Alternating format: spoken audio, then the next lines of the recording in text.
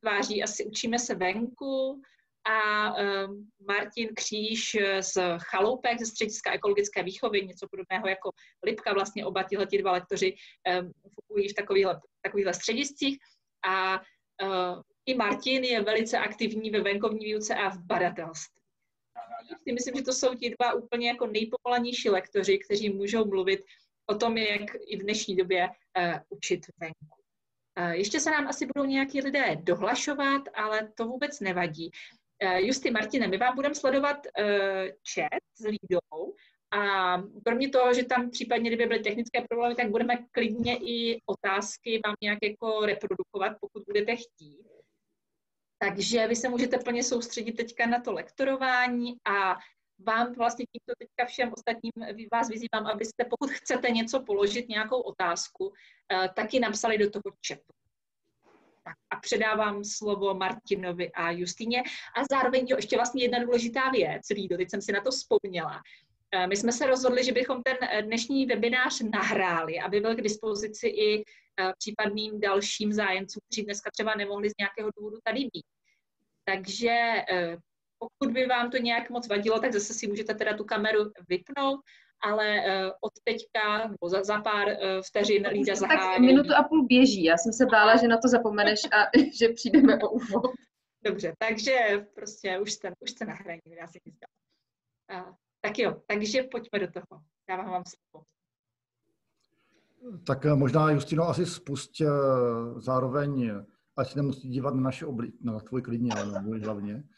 Eh, a, mm, a možná, než úplně začneme, tak bychom si mohli podívat eh, nejen, my jsme byli představení, ale koho tady vlastně máme.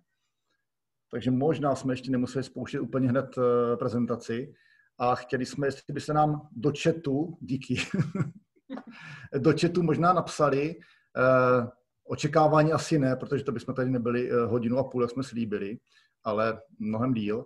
Ale kdybyste nám napsali, jako odkud jste z které jako školy a co, jestli se třeba druhý stupeň, první stupeň, nebo uh, někdo, koho to jenom zajímá z vedlejšku, nebo jste, jak se dívám, tady asi sedm lidí z Lipky, tak uh, aby jsme věděli, jestli to máme třeba víc bavit o distančním studiu na druhém stupni, anebo na prvním, nebo třeba na středních školách. Tak jenom tam napište, ahoj, jsem Josefína, učím matematiku na druhém stupni. Máte na to minutu. A já možná okomentuju, než spustíme prezentaci a vy se budete moct eh, trochu chytat, kdo tam píše a chytat si obličeje, když tam budou, tak jenom představit, eh, že um, my jsme jakoby v tom příspěvku vás zvali i na inspiraci ven, ale myslím si, že je důležité hned na začátku říct, že nečekejte, že tady hodinu a půl budeme říkat, jako jaké aktivity byste mohli venku se sněhem dělat, protože nám přijde, že je možná důležitější bavit se o těch principech, co je zatím, eh, jak tu distanční výuku pojmout trošku jinak a vlastně pak často si ty učitelé vymyslí sami ty možnosti, které nejlépe sedí pro tu jejich cílovou skupinu. Takže inspirace tady bude, ale bude až ke konci a zároveň tam bude i v tě, té inspiraci budou nějaké principy, jak dělat něco hloubš, jak dělat něco déle a tak. Takže jenom to jsem vám chtěla upravit, takže kdyby někdo chtěl jenom řadu aktivit, tak klidně si naplňte večer jinak. Zároveň klidně nám do toho vstupujte otázkami v průběhu. Uh, moc děkuju, že tady je spousta, já to vnímám i spolulektorů, jako je Dana Křiváňková, Káťa Čiháková, uh, Jirka Nešpor, Hanka a tak dále, takže klidně nám také do toho přidávejte i Vlačko, prostě prosím, když vás bude něco napadat, co je k tomu tématu, já to vnímám jako společné sdílení toho tématu, protože všichni jsme v tom noví a každý má z nějaké ty skládačky větší zkušenosti. A a já možná ještě doplním, že eh, byli jsme si představeni, že jsme jako učíme se venku, ale dneska to vlastně nebude o učení venku, jenom, nebo jenom velmi jako zlehka. Bude to o tom eh, podívat se trošku jako z nadhledu na distanční výuku. Takže samozřejmě, že vás pošlem mimochodem i ven, ale budeme mluvit i o jiných principech, takže nebojte se, budete v teple, i když je prosinec. Tak eh, předpokládám, že eh, Hanka nám sepsala statistiku, kolik je tady eh, učitelů humanitních věd, přírodních věd, první, druhých stupňů, speciálně škol. Je to od mateřské školy až po střední. No tak, Víc jsem zatím nestihla. tak my počkáme na koláčový graf a zatím začneme. Tak Justino, dal jsem jim tu minutu, to už stačilo, tak jdeme, ano, jdeme, jdeme na to. Super. Já jenom mám potřebu vždycky na seminářích zmínit, ono už tady trochu to padlo, ale učíme se venku, není je, jakoby iniciativa, která by za ní byla jenom jedna organizace, vlastně byly tři zakládající, Lipka, Chaloupky a Tereza a dnes už je to téměř 20 až 30 organizací, takže uh, vlastně v tom vnímám tu velkou sílu a energii a kdyby i vás to lákalo se připojit, tak rozhodně nám napište a je to možné. Že čím víc nás bude, tím lépe. Tak jo, možná pojďme na to. A my, se, my jsme se s domluvali, že se budeme velmi náhodně střídat, takže eh, kdyby to bylo moc improvizovaně, tak eh, to je ta náhodnost, jo, kterou v tom, eh, jako jste právě našli. My jsme se podívali na, na několik neduhů, který právě má distanční výuka, ta, ta dnešní nebo ta, ta, ta letošní, co proběhla dokonce dvakrát. A díváme se na to z pohledu jako problému, ale i výzev, který to přináší někdy ty výzvy jako neumíme pořádně uchopit, tak se eh, o nich pobavme. Eh, vždycky eh, jsme to zkusili uvodit jakoby komentářem dětí, jak by to mohli vnímat oni, ty starší tak určitě vnímají, ty mladší třeba jinak, protože ti starší vidí, že to je jako oprus, ti malí třeba nemají kamarády a někdy je to třeba naopak. Takže možná začněme teda jako prvním, prvním takovým jako nejobecnějším problémem, že nám začala distanční výuka, která ale vypadá úplně jinak než ta školní. Má jiná pravidla, jsou to nové výzvy pro nás, nikdo jsme to neuměli, ale taky nové formy. A ty formy většinou končí u počítače, většinou skončí v nějaké online výuce. Vidíte, že ty děti prostě pořád čumí do obrazovek. I ti učitelé se snaží být jako velmi kreativní, ale někdy ty kreativnost zase končí u obrazovek, typu, že jim uděláme unikovku, že mu dáme nějaký fakt hezký test, nebo najdeme moc pěkný film, ale to všechno je zase tahá k tomu počítači, k té obrazovce.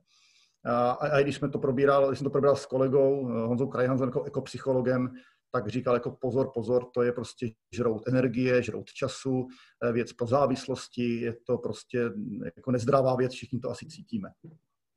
Takže my jsme se eh, podívali na to, jaký jako by mohly být jiné formy než ty online, nebo jiný než opisování učebnic, typu jako dneska strana 7 a, a zítra 8. Eh, chceme naznačit, že vlastně najednou má každý úplně jiný čas, je to mnohem variabilnější. Vám vlastně nezvoní v 8 a v jednu nejdou děti ze škol, ale je to vlastně trošku na nich, kdy budou pracovat. Vemte si, venku je krásně a vy posledíte přes, počít, před počítače. Přitom by to klidně mohli dát jakoby večer. Takže Eh, my budeme mluvit o těchto všech věcech, půjdeme někde do hloubky, někde půjdeme do šířky, eh, tomu, čemu jako rozumíme víc, jako je třeba to, jak je posílat ven, nebo badatelství, tak to třeba rozpitváme. A eh, zkusíme naznačit, že ty děti mají různé koníčky, různé sociální zázemí, rodiče, kteří s tím někdy umí pomoct, někdy ne. Když jim dáte jako mnoho člen, tak s tím nepomůžu ani já dětem u nás doma. Takže to asi pro začátek a pojďme si to teďka rozpitvat. Já předávám slovo Justýně. Mm-hmm. No, já myslím, že tady k tomu prvnímu slajdu už to hodně řekl, že ne, ten já si je... myslím, že najdeš na další slide. Super, super. Tak uh, tady vlastně zase jenom popisujeme to, že ty děcka jsou v nové situaci, kdy každý ten učitel po nich chce něco nového a každý trošku jinak a že to vnímáme, že to může být problém anebo i příležitost. A že tady vlastně my můžeme využít toho, že mají děti víc času, dát jim delší nějaké bloky, větší výzvy, můžou i nějak spolupracovat, o tom budeme mluvit později, a vlastně propojovat co nejvíc to s tím reálným, živo, eh, reálným životem. Tady se nám to právě jakoby opouští tu výuku ven a posouvá se to do té praxe klidně doma. A uh, my teďka, když byla Eduina, tak jsme tam mluvili o tom, že vlastně budoucí svět bude potřebovat obojživelníky. Děti, které jsou jako doma v tom virtuálním i v tom skutečném světě. A tady myslím si, že je důležité si tohle uvědomit, aby i ta naše výuka byla obojživelná aby my jsme jim uměli zadat nějaké lákavé téma v tom virtuálním světě, aby jsme jim je naučili s těma obrazovkama pracovat, ale zároveň, aby to ideálně 50 na 50 bylo pořád spojené a ukotvené v tom reálném světě. A to myslím, že v současné době se nám tolik nedaří. No, já, ještě, jestli si tam ještě můžeš chvilku zůstat na tom, na tom slajdu, tak eh, možná hm, tady bychom asi nejvíc mluvili právě o tom, eh, jak jako hm, propovat předměty, protože to, že máte jako 45 minut jeden předmět, druhý, třetí, čtvrtý, teď ty děti to takhle vlastně mít nemusí. Vy jim to vlastně můžete zadat tak, že, že mají třeba celý den jeden předmět, nebo vy se můžete domluvit s učitelem jako kolegou a dát jim jakoby společné zadání. To znamená, jako vychytat to tak, že ta fyzika bude hodně s matematikou a ten matematik vlastně uvidí výsledky, co ty děti jako spočítali, zjistili nebo někde změřili eh, a tím pádem vlastně nedostanou dva úkoly, dostanou jeden. Eh, samozřejmě školy, které nejedou science nebo nějaké badatelství nebo nějaký, eh, některé předměty, které to už dneska propojují a možná je to jako velká výzva to potom distančním vzdělávání jako začít dělat, tak to úplně třeba neumí, nemají to v, nemají to v osnovách, ale eh, zase je, je prostor právě pro to, to udělat a eh, zaprvé si vy trochu odpočinete a trochu ty děti, protože vlastně dostanou místo třech úkolů třeba jeden a hod tři, tři učitelé na tom budou pracovat. Teďka máme i možnost, ti učitelé se teďka jako můžou sejít v tom kabinetě a domluvit se na tomhle, což nikdy nešlo, protože jste vručili. Teďka se jako dá sednout, domluvit se, poslat úkol, úkol další den. Eh, bohužel víme, že na některých školách ty lidi ani neví, kdo, kdo jako učí jako jejich děti, který další jako kolega, eh, když jsou to jako obrovské školy, ale teď, teď je ta možnost, jo? pak zase naskočíme zpátky a, a, a ta možnost nebude. No a potom bychom ještě jako, asi bych apeloval na to, eh, pracovní učování, tělocvik šel úplně stranou samozřejmě, tak pojďme na to myslet a pojďme, dneska se razí politechnika a propojování hemisfér a, a, a vlastně nějaká manuální zručnost, a ta se to dá krásně zapojit. Když dětem dáte vyrobit ptačí budku, ale pozor se, každý nemá dílnu, nemůže si dovolit prostě řezat prkna doma, že řeknou, že to prostě nezaplatí tatínek jako prkna, tak proč? Tak eh, kdo si troufne dát budku, dá se dát budka podle návodu, že jim třeba rozpracujete budku v nějakém měřítku, to jim pošlete, oni to musí nazvětšovat jedna ku něčemu a vyrobit budku. A buď z papíru, model, jedna ku jedna ku dvěma třeba, nebo jedna ku jedné, budky nejsou velký, a nebo, nebo udělat skutečnou budku. Těch možností je mraky, dá se spoustu věcí jako modelovat. Je to pořád lepší, když děti jako hodinu dělají nějaký model, ať už do krajiny nebo jako čehokoliv dalšího, pak ho vyfotí a pošlou do školy, než když se dívají do obrazovky a tam vyplňují další a další, byť velmi zábavný, úvozovkách zábavný, protože může být test zábavný, jednou, si to, jednou to s něj vyčpí, ta zábavnost. Takže pojďme, pojďme to jako propojovat a pojďme myslet na ty manuální věci, eh, které jsou tak potřeba v dnešní době. Martine, já ti jenom do toho vstoupím. Já vlastně mám, teďka jako jste viděli, že pro Martina není vlastně vůbec nic problém, jo? že jako všechno je prostě možný, tak eh, kdyby se vám zdálo, že eh, to vlastně takhle jednoduchý není a chtěli byste se ho doptat, jak to mám udělat, když něco, něco, tak klidně se ho ptejte, protože on to prostě vymyslí. Jo? On vymyslí skoro cokoliv. Že vám vlastně může tu bariéru nějak pomoct rovnou odstranit. Takže vyzývám do chatu, prostě se ptejte. A zároveň si myslím, že v té druhé části, která nás čeká, tak tam bude jakoby nějaká cesta od těch jako jednodušších až po ty nejnáročnější. A že když třeba právě není ta dílna na tu eh, budku, tak můžu začít krmítkem třeba někde za oknem i v paneláku. Justino, už zase mlčím. No, já, já jsem spíš takový praktik, takže já mám jako tendenci tady tu část jako uh, rychle projet a jít uh, do toho, kde budou i ty konkrétní příklady, takže když tak mě brzdí. Ale tady já myslím, že to je všem jasné, že, že jde o to a téhle skupině nevnímám jako důležité o tom mluvit dlouho, aby co nejvíc těch věcí, které se ty děcka mají učit, tak aby se je učili jako v tom realitě, aby se na ně mohli šáhnout. Takže aby to nebylo tak, že se ptáky učí jenom uh, v těch obrazovkách, případně ještě hůř v učebnicích, a teďka v ní jako využívat všechno to, že právě je ta jinovatka a já můžu dítě vyhnat ven, než roztaje, což ve škole třeba nestihneme do těch osmi ráno uh, můžu je požádat. A stačí třeba, aby to udělali tři, čtyři aktivní a pak to sdílí. A někdo jiný půjde na jinou výzvu ven. Takže vlastně najít si to, co můžu v tom reálu právě teď dělat a budeme o tom mluvit i později, nebát se přeskládat si ten svůj roční plán tak, aby teďka jsem brala něco, co v tom terénu, případně v praxi udělám snadno a nechat si ty náročnější, kdy ta interakce mezi mnou a dětma je důležitější klidně na čas, kdy snad budeme s dětmi jako ve škole eh, v intenzivnějším kontaktu. Martine, jestli chceš, tak to doplň. Jako, to posílání dětí ven eh, z nějakých, nějakých výzkumů z jara se ukázalo, že lidi obecně byli mnohem víc venku než, eh, než dřív. Nebylo to úplně tím, že by je tam jako jsme posílali ze škol, taky samozřejmě, to spousta učitelů to jako využila. Mám, učit, znám, eh, mám kamarádku učitelku teď z Rudíkova, která to vyřešila tak, že vlastně viděla, že všechny děti mají zahrádku, takže oni, byla to taká čtvrtá třída, oni pátá vlastně, a oni vlastně všechny úkoly měli na té zahrádce. Takže byla, a to bylo od fenologie přes něco, že pěstovali něco pozorovali a vlastně eh, na tom prvním stupni to fakt jako jde. A, a ještě jsem chtěl říct, že možná je tam jako důležitá ta, jako ta psychohygiena. Že poslat děti ven není jenom jako dobrý, že vidí reálný svět, ale že si prostě nadýchají čerstvého vzduchu, jako vyprdí se obecně, jak se tomu říká. A prostě jako jsou venku, jsou teďka třeba ne v zelení, ale, ale v bílém sněhu a budou moc dovádět. A my jsme dneska měli první jako schůzku dílovou, kdy to vůbec šlo a bylo vidět, jak ty děcka jako jsou úplně nadšený z toho, že můžou být venku a ve sněhu a s kamarádama, jak jim to prostě úplně šíleně chybělo. Jo.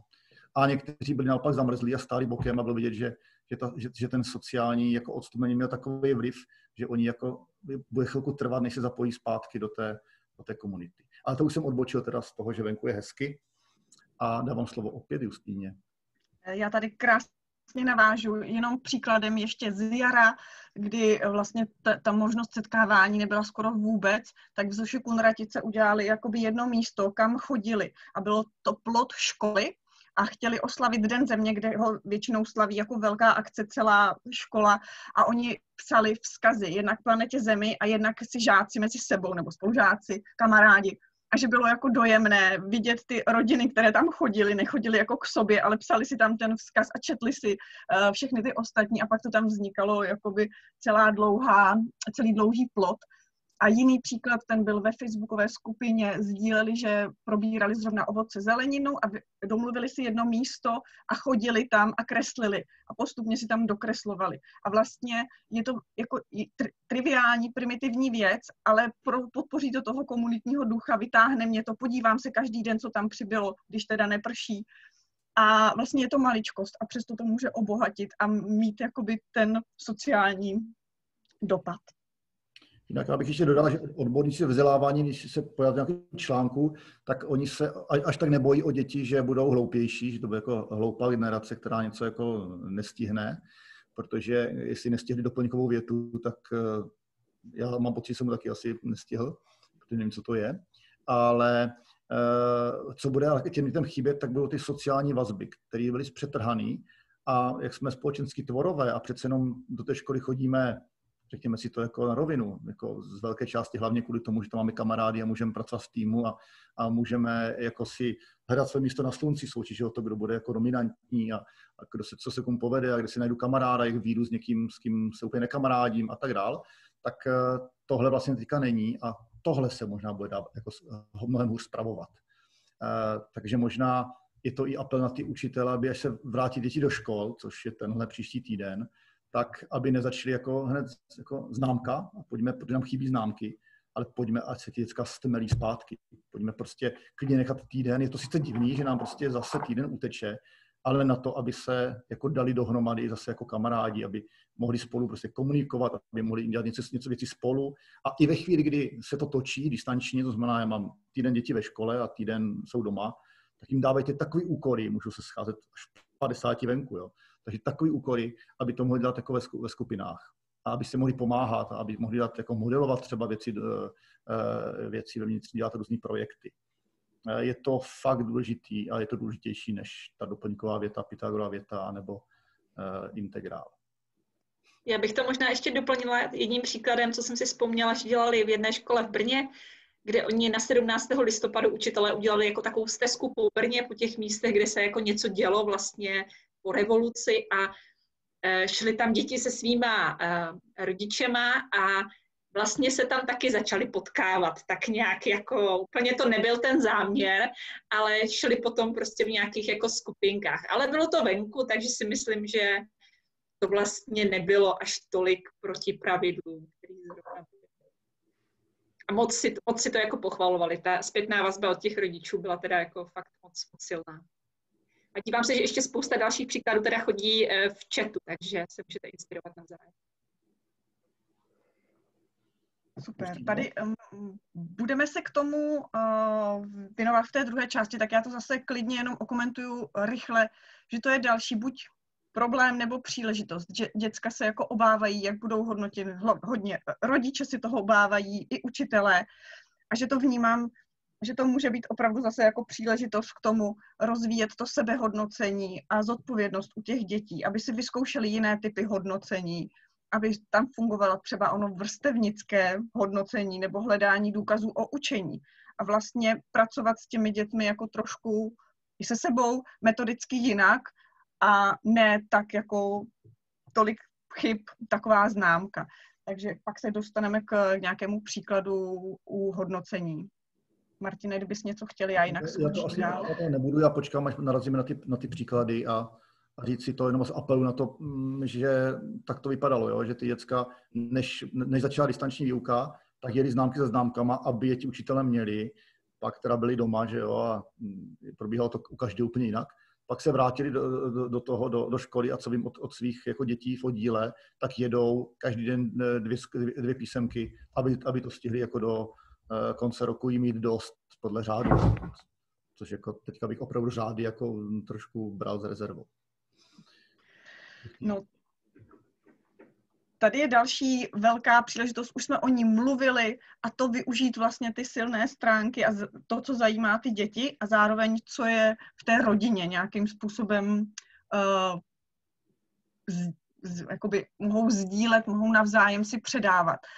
Takže když cítíme, že ty rodiče právě nepřidají uh, přívlastkové věty, tak je necháme až na čas, kdy budeme mít ty děti ve třídě a radši jim dáme, aby Eh, probrali něco, jak funguje motor, aby něco upekli, aby něco zvážili, změřili a tak dále. Jsou to jako triviální věci, ale přijde mi dobré, aby to tady zaznělo, že pokud děcka budou zase delší čas doma, eh, tak myslet tady na tu jako kapacitu těch rodičů, kde můžou se zapojit snadno a nebude to stát příliš velké úsilí. Protože jakmile děláme z toho rodiče onoho policajta, tak to vlastně naručuje ten vztah rodič-dítě a my bour, bouráme něco dalšího, eh, co do té doby fungovalo pravděpodobně. No a pak je tady to okřídlené, že jako věřme, že ne všichni se můžou připojit ve stejnou chvíli, že, že, jim, jako, že mají internet, který to zvládne, eh, že mají víc počítačů doma. Já mám, tak mě, omlouvám se, kočka mě vlezla tiskárnu za plaju a dělá to tady hluk. Eh, že ne, ne, každý, ne každý má jako jedno dítě a, a, k němu počítač, jenom má jako čtyři děti a k tomu dohromady jeden počítač. Takže už možná tohle jsou důvody, proč je nechme pracovat eh, jako mimo ten počítač. A ještě, ještě k těm rodičům. Někteří počítejme s tím, že některým těm, těm rodiče vůbec nepomůžou. Některým naopak rádi pomůžou s tím, ale co je samotný baví. Jo? Takže já sám bych jako asi zvládl vyrobit vůdku, ale už bych byl jako asi méně ochotný uh, dětem vysvětlovat něco, čemu naprosto nerozumím a, a, a, a studoval si to. A to my ještě se v tom vzdělávání pohybujeme. Vemte si, že jsou rodiče, kteří uh, jako vyšli základní školu, tím to pro ně skončilo a, a bohužel se teda učili na, to, na té základní škole v těch 80 letech to stejně, co, co mi dneska, ale stejně si to jako nepamatují a nejsou to schopní jako je naučit. Takže pojďme třeba změnit obsah učiva, aby byl blížší, učit, eh, blížší rodičům. Pojďme udat třeba různé možnosti, jako udejte budku z papíru, ze dřeva, nebo místo toho upečte buchtu. Jenom si pohlídejte, aby tam byly jako, eh, se trénovaly stejné věci. A potom prostě někdo bude pet s maminkou buchtu, někdo si udělá sám budku z papíru a někdo vezme, někdo vezme tatínek do dílny. Prostě v té chvíli jste vyhráli. Ale na, na to je potřeba jako velmi myslet, na, na, to, na to rodinný zázemí a hlavně se děti nezlobit, že potom něco nemají, protože jim to rodiče třeba ani jako nedovolili spustit ten počítač, nebo nebyli ochotní eh, jako s něčím pomoct. Nebo neochotní, ale schopní. No. Justýno. No, tady už jsme o tom zmínili, takže zase jenom lehce myslet na to, že ty děcka jako zažili taky něco velkého, silného a než do nich budeme jakoby jim předávat nějaké další vědomosti, dovednosti, tak je třeba ty emoce a zážitky zpracovat. Takže klidně i online na dálku si dělat třídnické hodiny, nebo když už přijdou ty děti, tak udělat si nějaké komunitní kruhy a sdílet, co tam bylo. A ukazuje se tak ze zkušeností učitelů, že ještě lépe to funguje, než v celé třídě v nějakých menších skupinkách. Takže roz, rozpadnout tu třídu, uh, pak si popovídat, vytipovat si děti, které to potřebují a stát se takovými vrbami. Uh, pro ty děti, které nemohou, právě nemají to zázemí třeba doma a mají naloženo mnohem víc, než to, že nestíhají učivo. Uh, tak jenom zase na to myslet. Uh, protože jinak je to jasné, že dětská skupina, pokud ne, ne, ne, není vyčištěná tady v tě, z těch přetlaků, tak nebude fungovat a nebude ani zapínat tolik uh, ty své jakoby, hemisféry na přijímání nějakých nových informací. No a uh, možná ještě jako myslíme ne v prvé řadě, ale myslíme na sebe, takový jako třeba ptáci, když krmí své mláďata a mají málo hmyzu, tak první nakrmí sebe a nějaký mláďata hod zahynou, protože kdyby zahynuli ti ptáci, ti rodiče, tak zahynou všechny mláďata, že jo. Takže aby jsme jakoby, jakoby nevyhořeli a všechny děti nebyly spruzený naší výukou, tak eh, to dělejme tak, aby, na to, aby to bavilo jako, jako prvně nás. Ať je to hravý, ať je to náročný, tak podle možností. A ono potom, když vám chodí jako krásný, já jsem viděl od těch učitelů, co, co jim kdo jako chodí, jako v obrázky a fotky, co ty děti jako vymysleli a co sami jako zjistili, tak je to potom jako radostný čtení a je to rozhodně radostnější než eh, kontrola eh, slovních úloh a, a jejich opravování. Super. A přecházíme do té praktičtější, pokud jsme vás už teď neumluvili, uh, druhé části, kde bychom chtěli projít právě nějakých devět typů, které jsme sestavili nejenom my s Martinem, ale v nějakém širším týmu právě kolem Učíme se venku. A chtěli jsme to vlastně nejenom říct, co jsme se sepsali, ale zároveň to pro, promítnout, propojit s inspirací konkrétních učitelů a ze škol. A teď rovnou se vás na něco zeptáme, aby jsme tady nepovídali jen my. A chtěli bychom vás tady jako první nějaký důležitý princip nebo tip nám přijde. Mluvili jsme o tom, aby děti neseděly pořád jen u počítačů. A, tak eh, kdo to zná, tak prosím eh, teďka eh, nezdílejte, ale kdo nezná tuhle aktivitu, tak bychom vás rádi se zeptali, jakou myslíte, že to je, jaká je to vzdělávací pomůcka, případně pro koho a co by s tím děti případně žáci, studenti mohli dělat. Zkuste buď říkat, uh, zapnout si mikrofon a říct nám to, nebo napsat do chatu.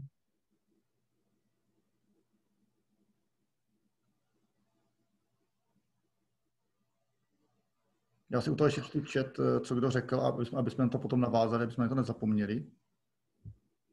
Tak objem to není. Eh, jenom... Ale bylo by to možné? Bylo by to možné. Eh, byl to pan učitel fyziky na střední škole, kdo to zadával. Tak ještě chvilku počkáme. Eh, říkali jsme s Martinem, že vám dáme další indici, že podobný pokus byste mohli udělat třeba s jarem nebo nějakým jiným saponátem. Takže nepůjde o to, kolik piv vypijou žáci, ano, Katka Bugáňová je tím nejblíž, jak správně nalít Ano, někteří to berou hodně prakticky, jakože tam jde o teda nějakou dovedností. Mně to teda přišlo hodně vtipný s, tou, eh, s tím názvem Neseďte u počítačů, dát tam dvě piva. Tak... Já třeba si dávám ten počítač pro pivo k počítači často, takže on se dá i kloubit naštěstí tyhle věci. Mm-hmm. Tak No, paní Zatloukalová je zatím nejblíž. Klidně, Martine, okomentuj. No, tak eh, tady, tady děti měly začít zjišťovat, jakým způsobem eh, klesá pěna na pivu a, a zjišťovat, jaká vlastně je to výsledná křivka. Eh, je to nějaká logaritmická křivka nebo exponenciála, myslím, že logaritmická. A ona vlastně ta pěna prvně mm, jako rychle, rychle, rychle ubývá a pak pomalinku, pak dlouho se drží. Takže děti vlastně měřili každých jako 10 vteřin, eh, jak je furt, jak je široká, jako ta, mm, takhle ta pěna. Vidíte tam všichni. A pak za pět minut byla taková, taková, taková, jde vlastně o poločas rozpadu. Takže úkol se jmenoval poločas rozpadu pivní pěny. A to byl jenom příklad. Samozřejmě vidíte, kolik jenom kvůli pivu jste našli jako krásných věcí. A tohle s tatínkem určitě ty děti eh, jako rád dělat budou a tatínek bude pro. Ale můžete nám jár, abyste neřekli, že nutíte děti pít pivo. Tak, můžeme dál možná. Další důležitý princip, zase není důležité o něm mluvit. Proč? Pracujme rukama, tak jenom pár příkladů. Eh, zase ve Facebook skupině krásně proběhlo několik příkladů tady ze, ze ZŠ a MŠ okna, kde dělali model bůdníky, živočišné a rostlinné a často jsme to viděli na papíru nějaké malé modely a oni to vzali jako velké, když to bylo ještě v září, když mohly být běžně jako venku celá třída. Uh, další, pravděpodobně znáte, Učíme se venku takové ty uh, běžné uh, kostry a orgány z přírodnin, tak tohle byla už zase zadání pro distanční výuku. A tady jenom ukázka porovnání, že vůbec nevadí, když ty děcka nemohou ven někam do parku, není to tam pro ně bezpečné, čisté a tak dále, tak je vyzvat, aby zkusili kreativitu ve své domácnosti. Se dělá to Markéta Volkurková ze Zošipu Nratice a posílala mi celou sadu eh, takových panáků a každé dítě to udělalo úplně jinak a bylo jako skvělé porovnávat, tak, jak, kdo jak udělal játra, kdo jak udělal ledviny. A vlastně byl tam i ten prvek té hravosti, toho jako hezkého kreativního porovnávání, kdo to jak vymyslel. A pro mě jako to je velice. Pojď se mi na vedle. Tak. Uh, tady uh, jenom pro ukázku, tohle je, uh, tuším, 8A, takže to jsou osmáci. A přesto do toho jako se nechali strhnout a dělali takovéhle jako krásné modely. Tak to je zase pro mě jako ukázka, že i když ty děcka jsou starší, tak jako neba, nebojíme se jim dávat takovéhle jako zdánlivě jednoduché uh, hravé úkoly ven nebo dovnitř. Podobně by se dalo pracovat třeba s, mapami, s mapou České republiky, ať udělají z přírodnin, nebo z nějaké kontinenty. Martin měl moc hezký obrázek z Pilin a Euroázii, ale já jsem ho nenašla, takže uh, v prezentaci není. Jinak samozřejmě modelovat se dá jako spoustu věcí, vlastně všechno, co se dá dát do obrazové podoby, se dá modelovat. Uh, takže můžete dělat i třeba plastickou mapu, můžete si klasickou mapu, normálně turistickou, udělat vedle ní model, uh, nebo naopak ten model jedni nafotí a druzí ho převedou do mapy. Těch věcí je spoustu a využijeme ten počítač nejen k tomu mluvenému slovu, nebo k tomu jsme poslali zadání, ale k tomu, že on umí natáčet videa, že umí jako počítat různé věci jako v Excelech a tak dále byť jako od toho počítače snažíme děti vytrhnout, tak ve chvíli, kdy oni vlastně opravdu něco měří dlouhodobě, jako je třeba eh, venkovní teplota nebo pěna na pivu, tak eh, v té chvíli k tomu počítači dojdou až ve chvíli, kdy mají výsledek a není to sezení počítače, je to vlastně jenom počítač využitý jako, mm, jako počítač. Ještě mi přijde, že tam je jako ta přidaná hodnota, že sdílí každý ten svůj výsledek a mě zajímá, co udělalo to druhé dítě. A vidím to zase jako ty 3D věci a ne, nevidím nějaké výsledky a my si kontrolujeme, jak jsme to sečetli, co máme všichni stejné. Že tam je zase ta práce s variabilitou, práce s těma 3D předmětama. Skáču dál, když tak Martine zastav. Tady to je jako velké téma, mohli bychom na něm zaparkovat klidně na hodinu. A to je, je obrovská příležitost propojovat předměty, aby jsme si ušetřili práce a zároveň zvýšili efektivitu toho dopadu na ty děti. Je to jedno, vyšlo to i ve výzkumech pro učení venku, jakmile ta škola se domluvila a propojovala předměty nejenom na prvním stupni, ale i na druhém stupni, tak obrovsky narostla uh, vlastně ta efektivita, to, co si děcka zapamatovali, jak je to bavilo a Například eh, teďka naše rozárka je v šesté třídě a já když jsem otevřela učebnici zeměpisu, dějepisu a zeměpisu, tak tam vlastně všude se bral ten úvod, jak vznikla země, evoluce a tak dále. A říkala jsem si, tyjo, proč jsou vlastně ty učebnice oddělené, proč to není dohromady, že by to krásně fungovalo. A skrze bádání, tam vlastně ta příležitost k tomu propojování těch oborů je velká. A vlastně, když dneska sledujete jakýkoliv obor, tak vám dneska už nestačí, abyste byli jako výborní odborníci v tom jednom tématu, ale potřebujete tam sociologa, potřebujete tam psychologa, potřebujete tam klimatologa a tak dále. Takže i to bychom měli těm dětem ukazovat. Mapování, jakékoliv mapování, ať je to stromy, ať jsou to uh, cesty psů, ať je to oblíbené uh, místa, kam ty děcka chtějí chodit na výlety, kde sportovat a tak dále. Pak to můžou být konkrétní věci, jako je třeba ono krmítko nebo budka. Ale vy nezadáte jako jednooborový úkol, ale jako místo, na kterém se naučí právě tu matematiku, pak o tom napíší nějaké pozorování, vyprávění, eh, bude tam ta biologie a tak dále. Jenom vlastně chce se zastavit a podívat se na to z různých eh, úhlů a na druhém stupni i třeba se domluvit s kolegy, co bude kdo zadávat, což je náročné na čas, ale pak se to obrovsky vyplatí. A budeme se dneska mluvit i o meteorologii, co je další jakoby příklad tématu, které je snadno předatelné dětem a můžete z toho vytáhnout spoustu příležitostí, jak sdílet do různých oborů uh, taková ta jako motivační pojítka. A pak jsme sem dali poznámky, že kdo máte příležitost a až budete mít příležitost, tak moc se hodí vyrazit eh, někam na pobytové centrum, protože máme pocit, že právě ekocentra tohle umí. Že když tam přijedete s třídou a jste tam týden, tak oni vám vlastně během toho jednoho týdne dají nejenom zážitek, ale ukáží vám nějaké téma z různých oborů, z různých eh, úhlů pohledu. A pro ty děcka je to pak nějak jakoby silně obalené i pozitivní emocí a v té hlavě je to velmi silně zakotveno. Tak Martine, chceš k tomu něco dodat? No já k tomu asi nic dodám, protože my to potom rozpitváme zase ještě podrobněji. V těch příkladech se dotkneme i té metrologie, i těchto věcí, takže možná, takže možná mm, až potom. Mm-hmm. Můžu jenom, jestli do toho můžu vstoupit, tady dotaz, jestli ta vaše prezentace bude k dispozici ano, ano. Just, jo, Žádný dobře. případě. Tak jo, tak bude. Takže Martinová část ne.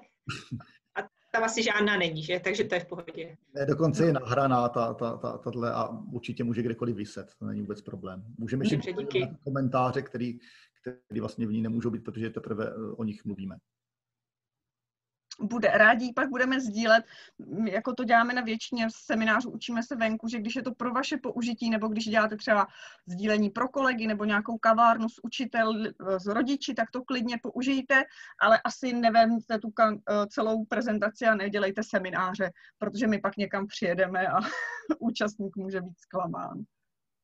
Tady jenom, uh, jenom drobná zmírka, pokud by někoho to zajímalo, tematicky to sem nezapadá, protože bude zima, ale různé expedice a putování s dětmi je taky příležitost, jak propojit jedno nebo víc témat do jednoho nějakého krátkého času. A kdyby to někoho zajímalo, tak teď probíhá na webu Učíme se venku uh, online festival a je k tomu článek právě ze ZŠ a MŠ okna od Milana Bárty, o jejich pěti dnech putování. Tak kdyby to někoho zajímalo, tak se na to podívejte. A já skáču na čtvrtý bod a předám Martinovi slovo, teď nemluvím já. Tak, uh, volitelnost v úkolech, o tom jsme už mluvili, eh, co se týče těch, eh, těch učitelů, těch rodičů, tak omlouvám se. A my vlastně ve škole máme jednu školu, kde víme, že máme tělocvičnu, jak máme prostornou školní zahradu, kde máme les a tak dále, co se může využívat najednou učíme doma a ty děti eh, využívají úplně jiných prostředí. Jednak někdo doma má zahradu, někdo nemá, někdo bydlí ve městě a má tam park, někdo bydlí ve městě v centru, že park tam nemá, někdo bydlí na sídlišti a tak dále, tak dále. Takže my musíme myslet na to, že ty eh, prostředí, v kterých ty děti se vyskytují, jsou velmi variabilní, ale spojuje to takové věci jako třeba kuchyň, to mají všichni. Většině teče teplá voda. Takže na tom se dá třeba ta fyzika, jako, jako tohle se dá využít. Nicméně Eh, dá se udělat variabilní, variabilní úkol, třeba 3-4, tady by krásně někdo ale zmínil, pozor, že úkol je moc, tak ty děti si jako odmítají přečíst, že to moc textu. Takže úkoly, aby měly jako krátké anotace a když si jako vyberu, tak jako se úkol třeba rozklikne a, eh, a jedu podle něj. Jak to jsou vaše u dětí, které jsme nenaučili číst pořádně, nebo eh, pro ně čtení není vůbec zábava. Tak eh, na to apeluju, pojďme vymyslet dětem takový úkoly, aby se v nich našli, aby se v nich našli ty jejich rodiče, aby se mysleli na děti, které jsou třeba v karanténě, to znamená, ti vám ven nepůjdou, ale můžou si dělat z okna počet auta, zjišťovat, kolik lidí dodržuje předpisy a jestli jezdí víc doprava doleva, v který, kdy mají špičku ve městě. Jo. Nebo když mají ty děti dílnu, tak je to zase něco, něco jiného, než když ji nemají. Takže dát jim ty možnosti. My jsme takhle pracovali s vysokoškolákama loni a právě pro karanténu jsme vybrali téma, badatelský téma lednice, a bylo zajímavé, co, co ty lidi vymysleli se všechno za, jako za výzkumy od toho, že zjišťovali, kolikrát někdo na prázdno otevře lednici, abyste jenom podíval a se uzavřel. Eh, kolik mám v lednici zdravých a kolik nezdravých potravin a pak řešili, co je zdravá potravina. Eh, kolik eh, věcí mě v, potra- v lednici projde a vlastně musím je vyhodit a tak dále a tak dále. No a oni mě tady měli možnosti chodit ven, byly tam nějaký kameny a brouci a, a tak různě, ale byla ta varianta prostě pro ty, co Eh, se ven nedostanou. Potom je dobrý vybrat jako různou formu, protože eh, dobrý je třeba, když to spojí s mapou, máme jako mapování, ale někomu jsou blížší stromy, někomu památky, někomu, já nevím, nějaký jako tajemná zákoutí, nebo, nebo klidně z grafita na stěnách. No a potom vlastně někdo může mapovat do stejného podkladu jako grafity, protože ho to baví, nebo tam nějaký přidá, když tam chybí v tom místě. Eh, někdo památky a někdo naopak jako památný stromy. Takže zase je to takzvaný háček. Háček je něco, co eh, to dítě baví a my to využijeme. Tak je dobrý třeba, aby používali eh, jako mobilní telefony na něco chytřejšího než jako na, četování. Aby si tam nahráli jako zajímavou aplikaci a s ní jako vyráželi ven a dáte jim možnosti různých aplikací a oni jdou vyzkoušet a pak píšou o tom, jak to, jak, jak to dopadlo. No a potom možná bychom mohli okomentovat, eh, Justino, co jsou vějíř a co jsou schody. Ano, to eh, včera jsme to tak krásně popsali. Tak vějíř vnímáme, že my právě těm dětem nabízíme možnosti. A oni si vybírají, co v tom tématu zrovna můžou dělat a můžou to být dvě možnosti, může jich být deset podle toho, co nám to téma a naše skupina co unese ale zároveň je dobré myslet na takzvané schody. A to je nějaká náročnost toho tématu, které my těm dětem nabízíme. Protože tím, jak máme ve třídě 30 individuí, tak pro někoho to bude nuda, pro někoho uh, to bude hodně náročné. Takže vlastně, když už o tom přemýšlím, tak nepřemýšlet jenom v tom, jak to mohou ty děti zpracovat, ale zároveň, co je ten standard, který chci od každého dítěte a vím, že každé dítě v té mé třídě je schopno ho zvládnout, ale potom tam dám jednu, dvě, podle toho je, um, klidně i víc, uh, výzev, které jsou dobrovolné. A to dítě, pokud ho to láká, tak si tu výzvu vezme a přijme ji a třeba bude pak sdílet jedno, dvě děti ve celé třídě. A ne, zase nemusím to udělat u každého úkolu, ale jednou za čas je dobré se zastavit a podívat se, jestli ta moje zadání nejsou zbytečně plochá. A tady ten vějíř, případně ty schody tam chybí. Může být obojí, může být vějíř jako paleta možností a schody jako level eh, toho daného, toho daného tématu. Tak super. Je tam šipku dolů. No, tak. Uh, tady zase už jsme o tom mluvili. Uh, a my zkusíme jít uh, do nějakých příkladů, že se opravdu ukazuje, že ty dětská, ono je to jako logické, že ty vědomosti, pokud potřebují, tak si je dokáží nasát velmi snadno, ale chybí jim právě ty interakce, kontakty pro některé děti s větší skupinou, pro některé děti klidně s jedním, s dvěma nějakými skalními uh, svými kamarády a je dobré na to myslet. Uh, I když se nám vrátí do třídy, tak schválně tam dělat ty skupinky, ale ne hnedka skupinky, které musí uh, dělat nějakou dal, jako složitou badatelskou lekci, ale skupinky, které něco sdílí. Nejdřív si mají možnost popovídat. Kdy, I když jsou v onlineu, tak zase vytvářet tam nějaké ty ohniska kde ty děcka mohou spolupracovat, povídat, nejenom, aby si navzájem sdíleli, kdo co už udělal, aby to odeslali včas, ale aby to zadání bylo opravdu o něčem diskutovat. Co fungovalo v některých školách moc hezky, tak e, třeba když se čtvrtáci, pátáci ujmuli prvňáčků, a cíleně během týdne jednou nebo víckrát uh, si volali a ptali se těch prvňáčků, co mají teďka za problém, proč jim tady to A nejde napsat nebo B. A co ještě fungovalo lépe, když děti z druhého stupně, šestáci, sedmáci, zase si vzali nějaké děti z prvního stupně, které byly nějakým způsobem vytipované, že třeba oba rodiče pracují nebo nemají čas eh, nebo něco jiného tam to dítě potřebuje a klidně jenom 20 minut za ten týden si po, spolu povídali. Často to fungovalo tak, že pak i častěji a ty starší pomáhali těm prvostupňovým s domácím úkolem, nebo si jenom popovídali. A vlastně obě ty děcka v té chvíli získávají. Je to jako ve hře. Ta heterogenní skupina je vlastně přirozená třída dětská venku, jak u opic, tak u nás, když jsme byli ještě lovci a sběrači a opravdu ten starší se učí, jak pracovat s tím mladším a to mladší dítě vlastně nasává tady od toho staršího a často je to oblíbenější učitel než my dospělí, protože to starší dítě je vždycky jenom o kousek na tom lépe a nemá takové nároky, co by to dítě už mělo umět.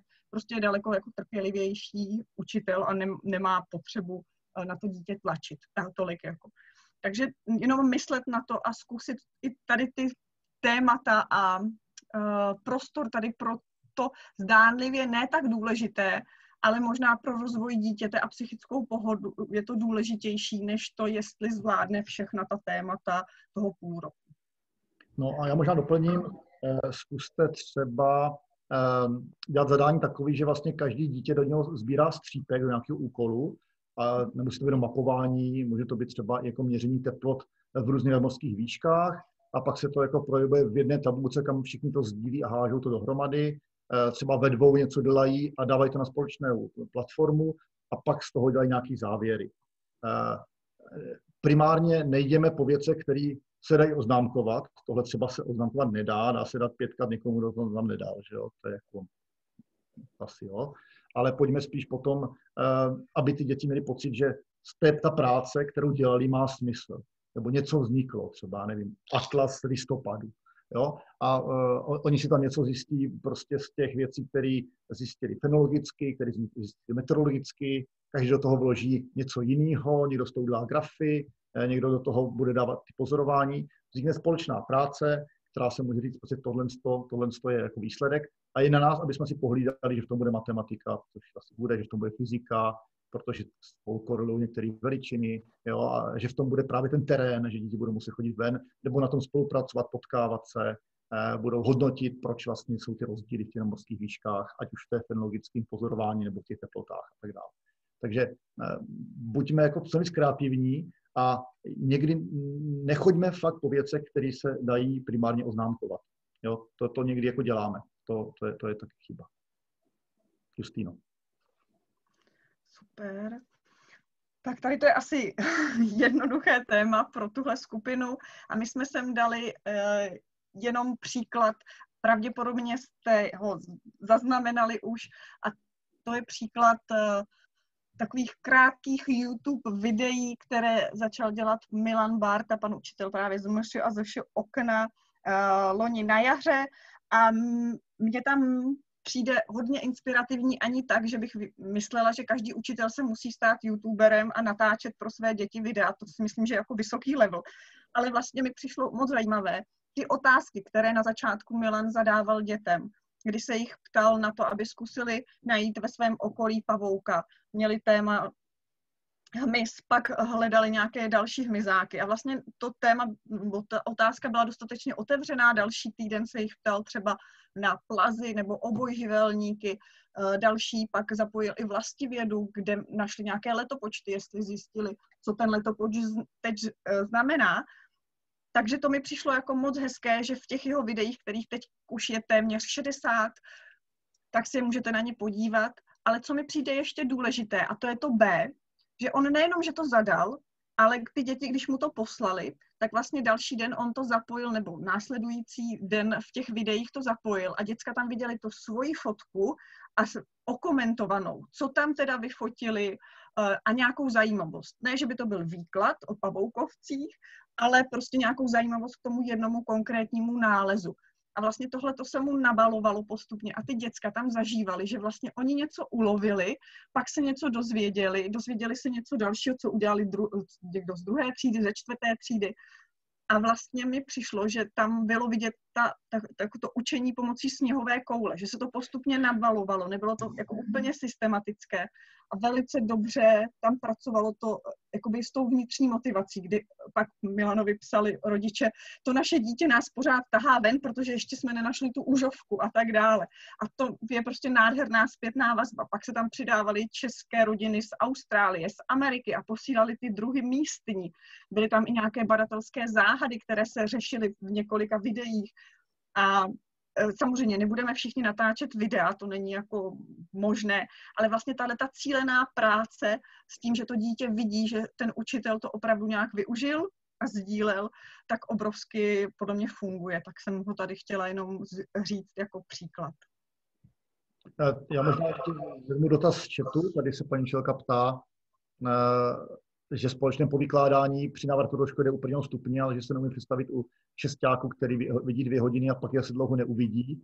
E, jako na tom něco je, to je ten náš jako rozsekaný, e, rozsekaný druhý stupeň na prvočinitele, že jo, kterými jsme si ty předměty nazvali, aby se náhodou nepotkávali, se potkávali naštěstí. No a e, tak tady možná bych doporučil, když víme, že zase 14 dní nebo týden ty, ty děti ne, neuvidím, tak bych to viděl na jako motivační hodinu, jak jste se měli, co by vám pomohlo, eh, kde máte problémy a pojďme si teďka třeba vymyslet jako úkol na ten týden, ať vás ten úkol baví, nechat to třeba společně s těma dětma vymyslet, co by to mohlo být za úkol, aby byl hoden toho daného jako tématu a předmětu. A zase pojďme to téma klidně změnit. Jo? Pokud teďka je téma, který se nedá moc uchopit eh, venku nebo uh, distančně nebo s rodiči a podobně, tak ho prostě učíme až někdy v červnu.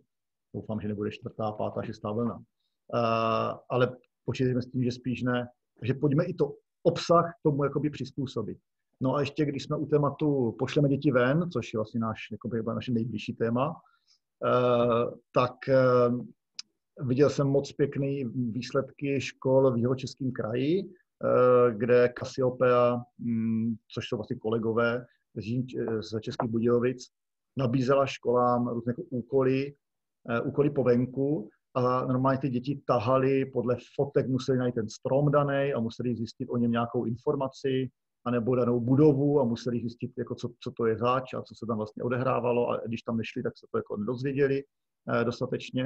Eh, takže vlastně dostali jako pracovní listy, který s, to, s tím tématem, co potřebovali, pracují, ale všechny je tahali ven do těch ulic, eh, těch českých Budějovic, anebo někam za město, nebo se týkali přímo toho města daného konkrétního, kde to probíhalo.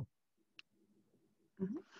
A já jenom než překliknu, tak jenom chci doplnit eh, k tomu, co jsi říkal, tak to mi přijde skvělé, vlastně předávat tu zodpovědnost zase za to vymýšlení, jak to téma uchopíme těm dětem, ale ještě bych tam přidala poznámku, že je dobré těm dětem říct, za tenhle školní rok bychom měli projít tahle témata a já vám je mohu přednášet klasicky tak, jak jsme zvyklí, prostě budeme si psát výpisky a td.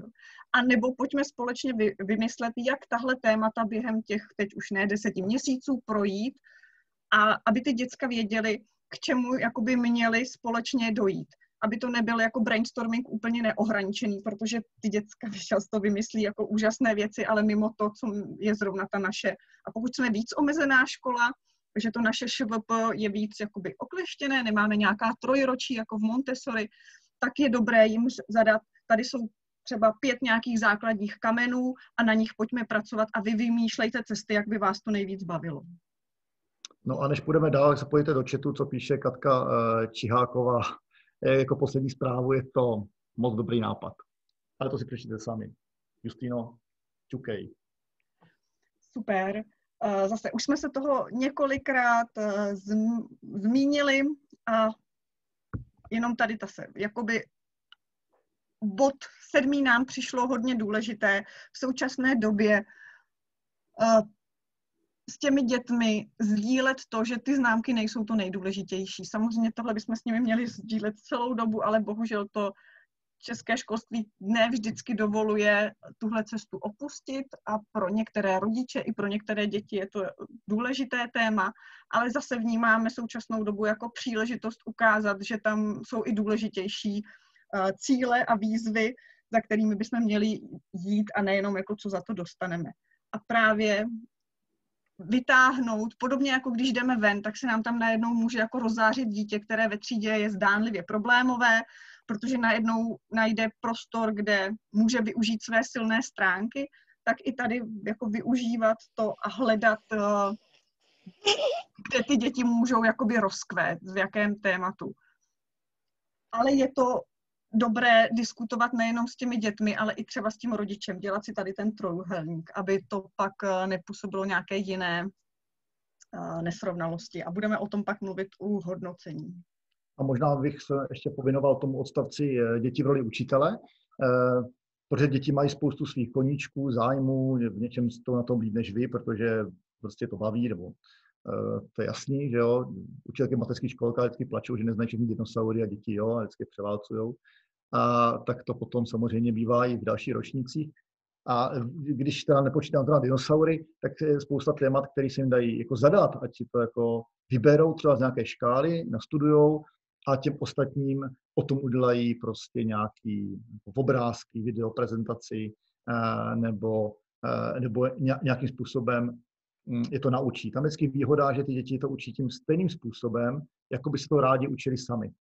Zatímco učitelky eh, a učitelé to učí takovým způsobem, který je blížší jim, a protože učitelé hod jsou většinou jednoho stejného typu, tak ta škála těch dětí je mnohem jako zajímavější, širší a i ty, i ty, i ty způsoby, jakým oni to přednesou, i ta slovní zásoba, kterou používají, Eh, tak je taková jako velmi, velmi zajímavá. Je to teda tady to vrstevnické učení, nebo jak se tomu říká, tak je zajímavý samozřejmě i v reálu, i na školách, ale teďka je proto vlastně prostor, protože když to dítě je doma, tak je na něm, jak, jak, jak dlouho zabije vlastně času tím, nebo zabije, užitečně samozřejmě využije, tím, že připravuje výuku pro ty děti a výuku za vás. Takže vlastně mm, vypijete kafe a děti učí ty ostatní Sice to není úplně odejít od počítačů, ale i to by se dalo ještě pořešit. A zároveň se tam dají uh, jako využít ty kulisy, které dítě, když má třeba nějaké modely velké, tak ty do třídy nevezme, nebo nějaká zvířata. A tady vlastně ty sbírky oni můžou v té třídě ukázat, jenom mi přijde dobré poznamenat, že zase je třeba myslet na nějakou bezpečnost a vnímat, jestli ta naše skupina, ta třídní, je v pohodě a nebude to nějak zneužito. To, že dítě ukazuje své soukromí, to, že ukazuje něco, co ho hodně baví, tak vlastně já bych si to troufla ve skupině dětí, kde vím, že jako opravdu už ty vztahy fungují a není tam někdo, kdo by toho pak zneužil. Tak to jenom mám No, ale my budeme klikat rychleji, protože půl osmé. Ano. Samozřejmě jsme strašně ukecaní. Takže pojďme to zrychlit. Tak uh, téma hodnocení, já ho vlastně bych ho mohla skočit, protože tady není to seminář na téma hodnocení, ale chtěli jsme ho jenom trošičku zmínit. Uh, mluvili jsme o tom rozvíjet sebehodnocení u dětí, povídat si s dětmi, co to je důkaz o učení a aby sami děti ho zkoušeli hledat v tom, co dělají. Takže já, když si vyberu výzvu, jak se naučím třeba počítat do 20, tak hnedka si hledat i ten důkaz, jak jsem na to přišel, když vezmu tenhle triviální úkol, ale můžu to dělat i v té druhé Eh, druhém stupni nebo třeba v cizích jazycích a tak dále. Pak tady Martin měl pěknou poznámku, že se dá pracovat s dětmi eh, pomocí kritérií, kdy kritéria, indikátory, známé tabulky, ale vlastně udělat je trošku hravě a to uh, splnil jsem úkol sám, splnil jsem úkol s rodičem, splnil jsem úkol od spolužáka, buď pracovali jsme spolu, nebo jsem ho obsal, anebo jsem mi pomohla sousedka a vlastně ukázat těm dětem, že je v pořádku, když si požádají o pomoc, ne když to jenom obšlehnou. A na dalším slajdu jsem vytáhla uh, takovou ukázku z online kurzu Učíme se venku, kde se jeden krok Teďka nám zamrzla Justina nebo, eh, nebo já všem? Věnuje hodnocení a já tě vidím, ale možná jsem vám zamrzla. No nevím, jestli... je to dobré. dobré. Jo, možná jsem zamrzla, že nemáme se o hodnocení bavit. tak já ho projdu rychle. Jenom, eh, že spoustu věcí, které se hodí na hodnocení venku, se podle mě hodí i na, on, na učení na dálku nebo na distanční výuku. Takže uvědomit si, kdy má smysl hodnotit a kdy ne, protože jsou okamžiky, kdy opravdu je cené, že to pro, projde a že nemusíme se k tomu nějak vyjadřovat. Další, že je dobré hodnotit vlastně to, jestli to, co jsme si s dětmi naplánovalo, se nám podařilo a probrat třeba, proč se nám to nepodařilo, že to je někdy taky cené. Pak nehodnotit jenom ten výsledek a nezaměřit tam pozornost, ale probírat ten průběh a vlastně hodnotit s dětmi ten průběh, který je někdy cenější než ten výsledek. Zaměřit se na ten individuální pokrok dítěte, neřešit tu sociální vztahovou normu, kdo je nejlepší ve třídě, kdo je nejlepší ve skupině, to těm dětem v budoucím životě k ničemu není, naopak je učí k nějakému uh, porovnávání, ale vlastně stanovovat si ten svůj posun, případně se jenom inspirovat od ostatních. Uh, ptát se dětí na jejich názory a už tady zaznělo i to vrstevnické hodnocení, které je obrovsky cené a ty děcka na něj často dají. Oni si, když je to zase bezpečná tvůrčí skupina, tak si neberou takové ty servítky, které my někdy jako učitelé máme a řeknou to prostě hezky, ale opravdu čistě tak, jak to vidí. Takže kdyby to někoho zajímalo, tak eh, já jsem sem dala pár materiálů, kde se můžete začít, jsou volně ke stažení na učíme se venku.cz lomeno stahuji. Jednak je to hodnocení v badatelsky orientovaném učení, které když si projdete, tak tam najdete podle mě spoustu aha momentů i pro distanční výuku.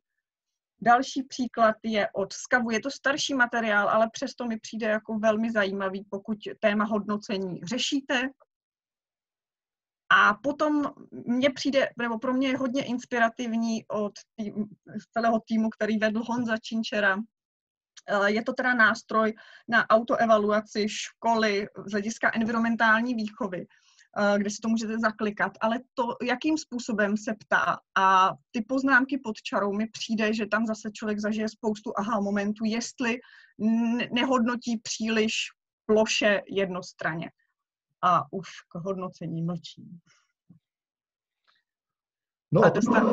Eh, o tomhle jsme už taky mluvili dost, tak to bychom taky mohli předskočit, a jdeme k těm příkladům konečně. Eh, ano. To je to nejdůležitější, myslete na sebe. Tohle je jenom zhrnutí uh, uh, a ty jdeš dál, že jo? Tohle jenom mě, mě jenom napadlo, že tady vlastně ten text, kdyby vás zajímal, tak je ke stažení naučíme se venku.cz lomeno škola doma. Tam je celý text eh, tady těch devíti shrnutí a kdyby vám přišlo, že tady nějaké zásadní chybí, které bychom tam měli doplnit, tak budeme rádi, když nám ho napíšete. Ano, on vidíš, že papíru je v bedrníku a v pražské no. Ne, telefon by jsem dal. Dejte sem ten telefon. Pardon, ale někoho tam slyšíme s telefonem, omlouváme se. Tak já už jsem stlumila tady. Děkuji, pardon. Tak uh, asi předám tobě, Martine, uh, pupeny. My jsme teďka našli pár jako příkladů, které jdou dělat uh, v téhle době. No a protože zítra je Barborky, uh, svatá Barbora, takže se trhají barbory, tak, uh, barborky, tak nás hned napadlo, že první příklad vám dáme na pupeny. Pupeny mají tu výhodu, že doma nejsou a děti musí vyrazit ven. Je, je vlastně jedno, co nazbírají, je dobrý, když to poznají. Jsou k tomu, jako, je tomu spousty literatury, jak poznat pupeny, není to tak těžký, jsou k tomu atlasy, klíče, dokonce pár učitelů nás už žádali, jestli bychom mohli některé ty klíče, co máme, atlasy, jako jim poslat v nějaké formě, jako, jestli si můžu naskenovat a poslat dětem, určitě si naše klíče klidně naskenujte, pošlete dětem, když nebudete prodávat dál, tak nám to nevadí. Nevím, jestli lípce, Hanko, nám ne. A další věc, ten, ten, ten úkol, který teďka jako by děti dostali v téhle chvíli, tak je natrhat pupeny, nebo nastříhat, je někam, kde není úplně teplo, na ne do 25 stupňů někde v obýváku, ale třeba radši někde na záchod. A sledovat, kdy se který pupeny jako rozpučí a, a začnou vylízat listy, případně květy, proto vlastně barborky se dávají jako květy, protože tam to funguje tak, že oni se sčítají kladné teploty a oni čekají vlastně na jaro, ty, ty, ty, mají, takzvanou dormanci, čekají na jaro ty pupeny a ve chvíli, kdy, kdy jako začne být nad nulou, tak sčítají, sčítají teploty a až dojdou nějaké své oblíbené teplotě, kterou mají naplánovanou, tak se rozpučí. Schválně, zkusíme si tam ještě pořád jste, zkuste mi do chatu napsat, který myslíte, že z těchto pupenů, který máte na obrázku, nebudu říkat jejich názvy, to poznáte, vypučí jako poslední. To znamená, kterým stromu jako nejdíl trvá, než se olistí, ještě jako v půlce května už všechno kvete a oni jsou listy na začátku. Ano, ano, ano. Jírovec taky pozdě a asi to bude ten Jasan.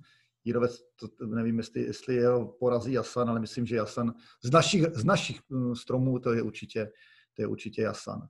A dobrý je, že vlastně tenhle úkol si děti tak nevygooglí, protože já sám jsem ty informace hledal a jsem na internetu nenašel. Eh, Katka mě určitě hned pošle odkaz, protože to ví, kde to je, ale eh, děti to tak rychle nenajdou. Tak eh, věci, které jsou velmi experimentální, tak jim dávejte jako velký výzvy, protože to nejsou věci, které se dají vygooglit. Tak, pojďme dál. To jsou tak ukázky těch klíčů, různých pracovních listů. Tohle se dá, něco z toho se dá stáhnout, naučíme se venku.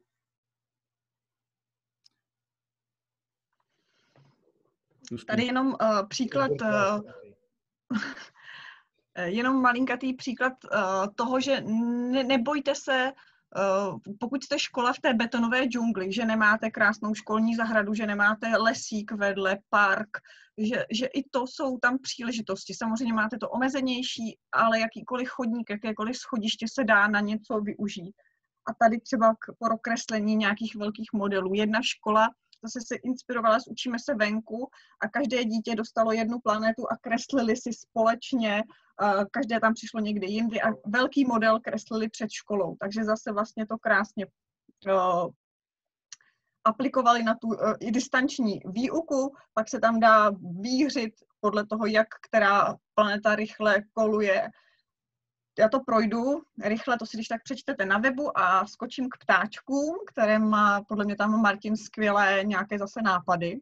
Eh, ptáčci jsou tady, tady jako naprosto na schvál, protože vlastně zima je ideální pro pozorování ptáků na, krm, na krmících. Eh, tak blízko k vám pták nikdy nepřijde, jako, jako je zima. Eh, a navíc my chceme právě na ptácích a na krmici ukázat, jak funguje tzv. občanská věda, do které se ze školou můžete, nebo vlastně i jako doma jenom tak zapojit. Občanská věda je něco, co vlastně přibližuje běžným lidem práci vědců a zároveň ti vědci jako ty data nás, běžných občanů, používají. A když eh, já budu součástí občanské vědy, tak budu trochu motivovanější k tomu, abych eh, takovou věc zjišťoval, protože budu vědět, že můj výsledek někde se prostě objeví eh, v nějakém seznamu, že čím nás bude víc, tak tím to bude jako zajímavější. Jako typický ukázek občanské vědy je právě ptačí hodinka, která je to už po třetí, po čtvrté dokonce, hm, po třetí určitě, vyhlášena na, na leden, tentokrát jsou to dokonce tři dny, je to, jsou to tři dny na schvál, aby vlastně se do toho mohly zapojit i školy, takže je to většinou pátek, sobota, neděle. A máte za úkol hodinu pozorovat krmítko a zapisovat, co na něm všechno je. A vždycky ty ptáci v tom největším počtu e, se zapisují, protože když tam je síkorka jedna, dvě, pak pět, pak zase jedna, tak je pravděpodobně, že těch pět znamená, že to jsou ty jedna a dvě, co tam byly předtím a potom je dobrý mít to krmítko zakrmený a jako, aby ty ptáci nemuseli objevovat teprve. Eh, je dobré s těma dětma probrat rozdíl těch jako základních druhů, jako je třeba právě sikora modříka koňadra, jako jsou vrabci polní domácí. A, a potom, potom prostě zapisovat, dělat to statistiky, poslat to do světa, nebo poslat to prostě tomu týmu, který to zpracovává a do měsíce vám dojde, jak jste se umístili vy, co, který pták to vyhrál celostátně, jak se to pohybuje meziročně, kterých ptáků ubývá, přibývá, jestli je nějaká rarita letošního roku. Uh, oni ti odborníci na těch, uh, ty ornitologové vědí, že ledňáčci na krmítko nelítají, tak to přepíšou na brhlíky, takže oni takové ty drobné věci umí celkem, uh, jako už, už, už ví, jak na ně. A byť vy se spletete, tak je vás tolik, že v tom velkém počtu to vlastně nevadí a to, že vyhraje mm, jako Sikora o jako 10 tisíc kusů nebo tisíc kusů, tak je jako jasný, že jich, jich tam bylo nejvíc. A letošní rok, nebo jako letošní sezóna, tak si napište všichni do diářů, že to bude 8. až 10. ledna 2021. Eh, a z, občanské vědy mám ještě pár dalších ukázek, když jestli to Justina posune, eh, tak eh, bude ještě pár ptáčků. Tady jsou ty stránky té, té, toho, hm, toho, ten web k té ptačí hodince a možná nechám okomentovat ptačí zbytek. Tady jsme jenom dali další příklad, kdybyste chtěli jít ještě krok dál a to vnímáme, že jako udělat si krmítko zvládne téměř dokoliv nebo zavěsit lojovou kouli. A teď je vhodná příležitost ty dět, děcko, ne, ale ty ptáčky zvykat na to, abyste pak mohli v lednu sčítat. Můžete pak dělat budky a další věci a nebo jít s dětmi ještě o krok dál a to je vlastně pak už nějaká akce na ochranu, nejenom pozorování. A v dnešní době už je vlastně víc a víc příl, e, příkladů, jak e, i školy chrání velké skleněné plochy, které jsou jako jeden z největší nebezpečí, kromě nějakých koček, které lidé připravují ptáčkům, eh, kteří eh, žijí kolem nich. A už je mnoho pří, pří, příkladů, kde školy nebo nějaká akční skupina dětí z té školy, ani to nemuselo být celá velká většina dětí, tak si vyjednali buď ve škole a polepili okna, protože nemusíte tam mít jenom ty siluety, je tam vlastně jakékoliv vzory, ale musí být dostatečně hustě kolem sebe. Zároveň některé skupiny šly dál a vyjednali si na úřadě, že se polepili ich uh, nějaké uh, zastávky, které byly zase pro ptáky nebezpečné. Jinak jsou na to i dokumenty nebo krátká videa, které ukazují, kolik, uh, já si ty čísla nepamatuju, ale obrovské množství ptáčků zahyne. Nebo třeba kočky už jsou tak chytré, že na mnoha místech čekají a když ten pták narazí, je omráčen, tak ho jakoby uloví a že pozná ten zvuk a tak dále. Takže uh, jenom krásná akce, kterou můžeme s těma dětma udělat buď v jednom okně naše třídy, anebo se rozšířit na celou školu, případně na zastávku. A tady předám slovo uh, Martinovi na vrtolky. Ano, to je to naopak. Když to sklo, když to sklo nepolepíte, tak máte jinou možnost, eh, jak dělat občanskou vědu, eh, než to dáte na schvál samozřejmě. A eh, Ústav biologie obratlovců ve Studenci tak vlastně dělá takovou, takovou zajímavou věc, že on má, on má něco jako obří mražáky, budovu plnou mražáků a tam je, tam je genetická banka našich obratlovců, ptáků, plazů, stavců a tak dále a e, na požádání si s nimi domluvíte, tak oni vám pošlou sadu e, jako preparační, plus nějaké roztoky do malinké lahvičky. A když najdete nějakou mrtvolku, úplně se toho neštítíte, ale v zimě je to úplně jako bezpečný, virus, co tady běhá kolem nás, je mnohem horší, tak můžete mu odstřihnout kus nějaké tkáně, péro nestačí, jo, ptáka nebo chlup, musíte jít fakt jako do tkáně a tu dáte do té lahvičky a až máte plno, prostě plnou sbírku, tak je pošlete do toho studence.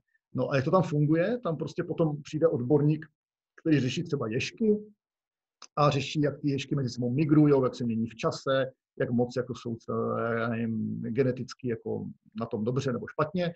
No a vezmou si prostě sekci všech ješků, eh, třeba východních, eh, tam už toho budou stovky za tu dobu, protože to sbírají, sbírají a netuší, kdo to, kdo to kdy využije. Oni to vyjedou geneticky, zjistí, aha, tady je pár západních, jiný to nepoznal, ale to nevadí, my to poznáme podle té sekvence a z toho zbytku prostě udělají výzkum. Takže my vlastně pomáháme vědcům, ještě ani nevíme kterým, jako do budoucna, jako s její vědou. A zase děti tohle dělají a vědí, že to dělají s vědomím toho, že to ty vědci použijou, no tak se o tu práci vědců asi budou spíš zajímat. Oni vás klidně provedou tím, tím jejich pracovištěm. A e, jak myslíte, že vzniká u dětí jako to, že se do něčeho natknou? No, takže uvidí práci, e, která třeba stojí za to, nebo která je zajímavá. Tak tolik k mrtvolkám, když nezapečíte sklo. Justino, jdem zpátky na zem. Super. E, na webu zase Učíme se venku najdete mnoho inspirace, pracovních listů a lekcí k ptáčkům. My to tady nebudeme procházet, ale nebojte se opravdu vrhnout do těch krmítek i ve městě, zase sledovat pobytová znamení. Když ne, nemají stromy listy, tak zkusit uh, mapovat, kde jaká uh, hnízda, které druhy si jak staví. Uh, děcka jsou často velmi překvapená stračím hnízdem. Zase v tom městě často se dostanete k těm zvířatům blíž, protože jsou takové ofrklé už než někde v divočině. O budkách už jsme mluvili, je to příležitost jak pro tu matematiku, tak pro tu zručnost a také pro kritické myšlení, protože můžete zadat dětem, aby našli různé návody na různé typy budek a vybrali ty, které, kterým zdrojům budou věřit a proč. A protože je spousta budek, které v dnešní době vznikají i s tím bydílkem, případně s tou spodní stranou, která se nevkládá a ty ptáčata pak snadněji mohou vypadnout, případně nemají oplechování a tak dále. Takže je tam spousta příkladů zase pro sledování nějakého kritického myšlení, jak vyvěsit, kde vyvěsit, zase práce s mapou světové strany, potřeby, eh, druhy, které jsou místní, které jsou tažné, kdy vyvěšovat. Prostě je tam spousta věcí, které se dá kolem toho. A další věc, která je fajn, když na podzim čistíte ty budky, protože není to tak, že byste s dětmi je měli vyvěsit, ale zase do mapy si je někam zavnést a na podzim si je mapovat, která potřebuje opravit, která potřebuje vyčistit a nevyhodit to, ale probrat s dětmi, co tam všechno je. A na jaře, když začíná hnízdí sezóna, tak ke krmítkům dávat i taková ta hnízdící krmítka, kdy vyčešete psa, použijete svoje vlasy, případně nastříhanou vlnu a nabídněte těm zvířatům nebo i suchou trávu a sledujete, co si vybírají. A my jsme se včera s Martinem bavili, jak nás fascinuje, jak síkorka s takhle malinkatým zobáčkem nabere obrovské chumáče a lítá několikrát za den a vlastně ten materiál rychle spotřebuje. A co je další, tak je sbírka peří, vlastně rozvíjet u dětí ne takové to všichni si uděláte herbář povinně, ale nabídnout jim nějakou příležitost. Na svých výpravách máte sbírku peříček, tak si udělejte nějakou přehled a ukažte nám, co jste určili, co jste našli, kde jste to našli. A je to zase nějaké navykání na tu badatelskou práci. Když bude čas, což asi nebude, tak bych ukázala nějaké knížky, ve které, které se nám osvědčily na určování peříček, ale to nechám na závěr. Martine, chceš to okomentovat? Ano, chci to okomentovat. Eh, je tady sice sbírka šišek eh, z hranic, tam my taky máme z hranic pár šišek, protože oni, když děti povinně dělají, eh, v Hranická je teda je to střední lesnická škola, když oni povinně vyrobí sbírku, tak potom musí zabavit a někomu věnovat, aby to neprodali dětem v mladším ročníku a neobjevila se ta sbírka po druhé. Nicméně sbírky jsou skvělá věc, zvláště pokud ty děti to tvoří sami. Pokud máte velkou prosklenou skříň, kterou už chcete vyhodit, tak ji ještě nevyhazujte, ale nechte děti, ať na svých výpravách, uh, toukách o, o víkendu s rodiči a tak dál, nosí věci, které se neznají nebo jim přijdou zajímavé a tam se objeví potom jako různé duběnky a požerky a parůšky a, a bobky zvířat a věci se dají měnit samozřejmě, když se to rozpadne, tak děti donesou další. Uh, děti budou vědět, že jsou součástí toho muzea, že nejsou jako jenom uh, návštěvníci, ale že jsou prostě muzejníci a že oni rozhodují o tom, co v tom muzeu bude. A potom budete mít zajímavé věci, které děti odvezou od moře, budou tam zajímavé kameny, budou tam zajímavé, uh, zajímavý třeba vosí hnízda nebo, nebo takovéhle věci. Takže některé děti se dělají doma takové sbírky, skautské oddíly často si takové sbírky dělají a ty sbírky ale patří především do škol. Školní sbírky byl vždycky fenomén, eh, fenomén škol už za první republiky, tak je pojďme oživit. A fakt školní sbírka neznamená, že tam máte jako jantar jak, jak pěst, který nikdo jiný nemá, ale že tam máte duběnku, jo? nebo že tam máte prostě jako bobek Eh, z králíka a z srnce, aby děti viděly rozdíl. A ještě mi přijde dobré vlastně myslet na ten management uh, a nemít to v jednom kabinetu, který je zamčený nebo v jedné třídě a nikdo tam nemá přístup, ale promyslet, aby když na té škole chcete učení venku rozšiřovat tak, aby tam to bylo místo, kam mohou chodit opakovaně ostatní kolegové a děti. A třeba Andrea Tláskalová v Zbyroch se jí podařilo celá jedna místnost v přízemí školy hned u vchodu udělat jako takovýhle sklad a je to skvělé místo, kde se ukládají pomůcky a zároveň je to právě tady ta ne výstava, ale spíš sbírka a kdokoliv cokoliv potřebuje, tak si to vezme a jsou tam neuvěřitelné věci. Martine, jestli... Ano, možná tam to už naskočilo v nějakém slajdu předchozím, ale zajímavý eh, jako věc, která se dá dělat vlastně celoročně, tak je etologie. Ty děti mají doma různá zvířátka, od rybiček až po jako krávy, že někteří, eh, třeba myš. No a uh, pak, je, pak je dobré, jako jedno z těch, individuálních věcí, jako nepovinných, protože někdo může maximálně tak pozorovat svého bratra a taky ho to možná bude bavit, eh, tak eh, sledovat, co dělá to, to zvíře, co dělá třeba hodinu, nebo co dělá jako během dne, chodit po hodině ho pozorovat. A vy musíte dodržovat takové ty věci, jako že vás zvíře nesmí u toho zmerečit, a aby se jako nechovalo jako jinak, nebo se můžete dívat, jak ty žraty víc, jak se chovají ve stádě, která rybička je jako hlavní rybička, nebo který, no to asi úplně nebude hlavní rybička, ale podívejte se třeba na, na hlodavce, ti, ti, ti, ti, ti, to, ti to tak jako mají. Uh, ovce vyloženě, jako ovce můžete pozorovat, jak dlouho chcete a hned zjistíte, která je ta, ta hlavní ovce, nebo kdo tam je berán v tom stádě. Uh, takže etologie, velmi zajímavá věc a pozor, není to jenom věc jako do, do biologie, že byste řekli zvířidla, tohle, tohle. My jsme třeba zjistili po etologickém sledováním ovcí, když ti psali, co dělali, tak většinou jenom tak seděli a mleli hubou. Tak se ti dozvěděli, že jsou to přežvíkavci a že to je vlastně v pořádku, že to mají dělat, jinak by umřeli hlady. A co, co je tam vlastně jako nástavba, že když ti děti o tom potom píšou, ten popis, tak je to jako rizí čeština. Oni vlastně veškerý popis vašeho pozorování a vašich výsledků sledování a, a tak dále, všechny zápisky z cest, to je jako rizí čeština.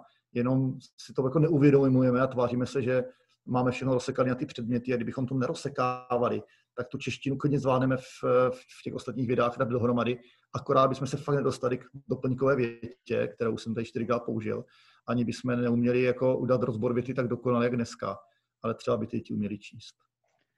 A kdyby někoho lákalo, tak tady v knize Tajemství školy za školou, kterou asi znáte, tak jsou popsané výzkumy, které prokázaly, že děti, které popisovaly zážitky zvenku, tak je popisovali mnohem barvitějším jazykem, ty příběhy byly delší, zajímavější, protože to pro ty děti bylo nějak emočně zajímavější, byl tam ten náboj. Tak asi ti nechám slovo ještě na meteorologii. To jsou ty věci, co jsme jako vytáhli ven. Já jsem o meteorologii mluvil. Ehm, tam je krásný, že ty některé přístroje jsou velmi lehce dosažitelné, protože jako mm, teplo nic nestojí. Eh, spousta dětí má různé meteostanice, kde může pozorovat víc věcí, eh, asi nemá tady nějaký termografy samozřejmě. Na druhou stranu je spousta aplikací, které vám řekne, jaký, kde je počasí a bylo počasí. Existuje celá síť stanic, která je společně jako na webu, jmenuje se to Weather Cloud, a tam najdete třeba věci ve vašem městě a v údolí, kde máte tábor a, a, a chaloupky, tam taky jsme zapojili tady do, té, do toho cloudu a tam můžu online sledovat, eh, jak, jak, jak je nahoře jako sníh.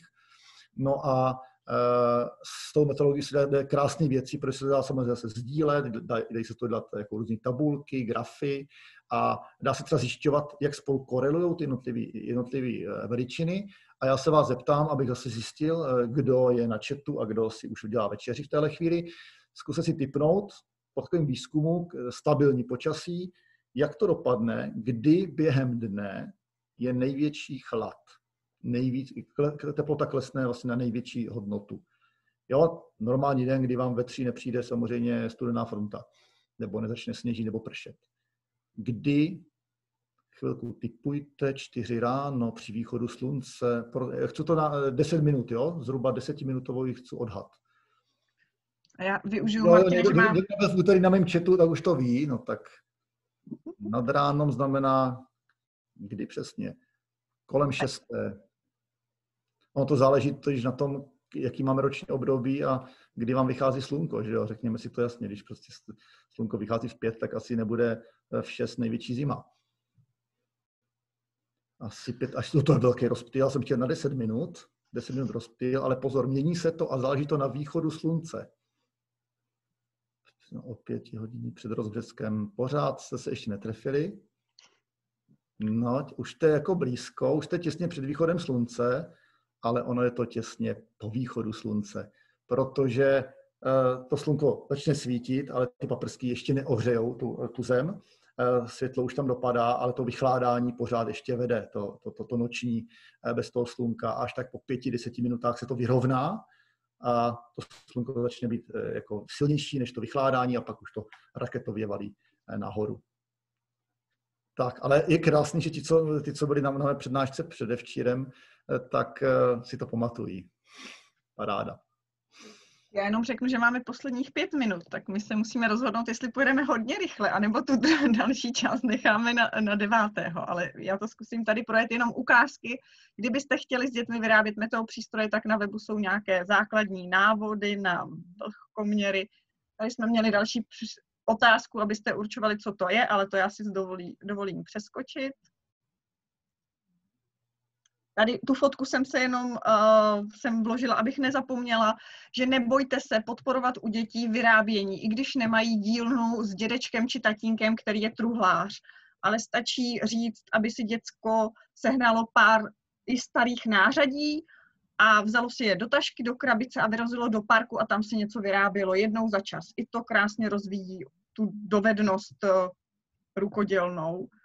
A tady jsme přidali našeho kamaráda uh, Romana Andrése, který má jako skvělé sady, zvlášť pro ty menší děti, ale věřím, že děti, které neměly příležitost si to užít v dětství, tak si to moc rádi saturují i na druhém stupni, kde si můžete koupit docela levné základní sady a vyrábět jako skvělé věci, buď podle návodu, nebo vlastní projekty, což ty děcka o, o, jakoby ocení. A dostáváme se už k těm sněhovým konkrétním příkladům, co venku dělat. Já než tam skočím, Martine, jestli nechceš něco dodat k té druhé části. Nemáme čas, takže já mlčím a bude to rychlejší. Uh, tak určitě všichni znáte bahení sopky, tak jenom, že pokud jich chcete uchránit svoji zahradu před popálením, která často funguje, když děcka to hodně baví a nasypou tam hodně té sody, tak když je pořádná sněhová na, uh, jakoby vrstva, tak uh, to krásně ochrání tu půdu, protože se to zředí. Moc doporučujeme testovat a teď je to zase skvělé, když je takovéhle jako lehké mrazíky nebo větší mrazíky a po ránu ty děti můžete poslat, běžte to pozorovat, protože ve třídě, než vám přijdou na osmou, devátou, tak často už to nebude fungovat. Tady nevím, jestli bude fungovat e, i video, kde uvidíte, to jsme tady jednou ráno, bylo nějak minus pět. Důležité je, že nesmí foukat. Jakmile fouká, tak se vám ty bubliny trhají, ale vlastně pokud vám tam svítí to sluníčko, tak vidíte krystalizaci v přímém přenosu během pár vteřin. Pokud vám nesvítí slunko, tak vám ta bublina jenom uh, zmatní. Pak uh, různá práce s albedem, buď jednoduše bílý černý papír nebo černý bílý knoflík, kde se to bude uh, rychleji um, od, odtávat, případně víc materiálu a zkoušet během dne pozorovat, eh, kde bude ten sníh a proč tát rychleji. Tady dám slovo Martinovi k ledu. To možná přeskoč, protože tohle asi školy běžně dělají a možná eh, pojďme třeba radši na nějakou lupu nebo tak. Mm-hmm, tak já tohle přeložím.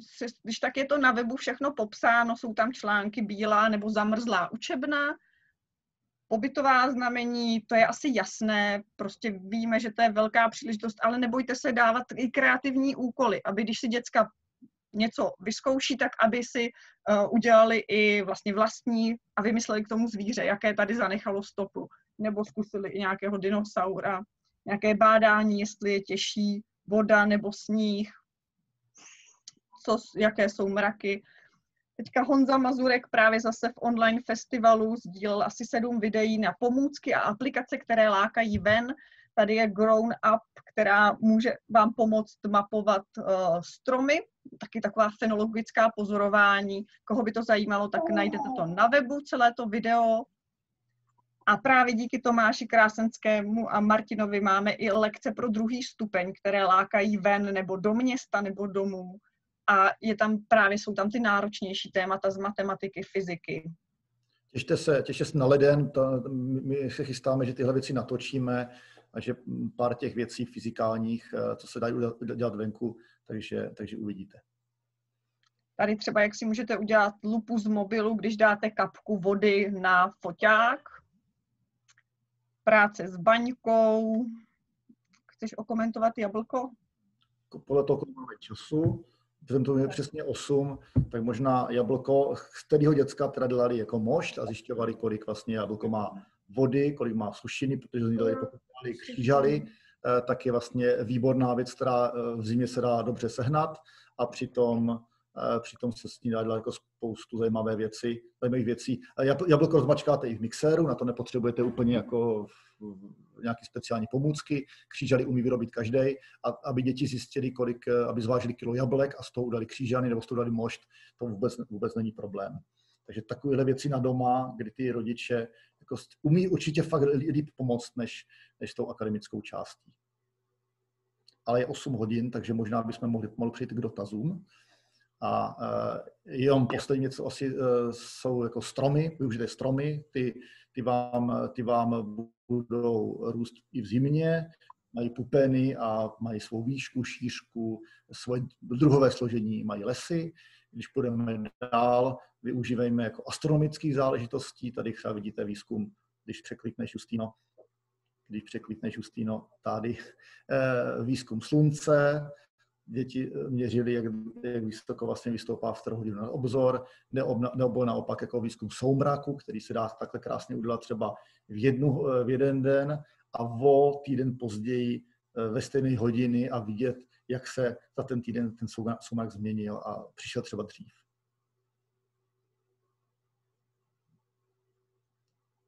Tak, ty nevím, jestli jsem zamrzl já, nebo zamrzla Justýna. Zase já asi.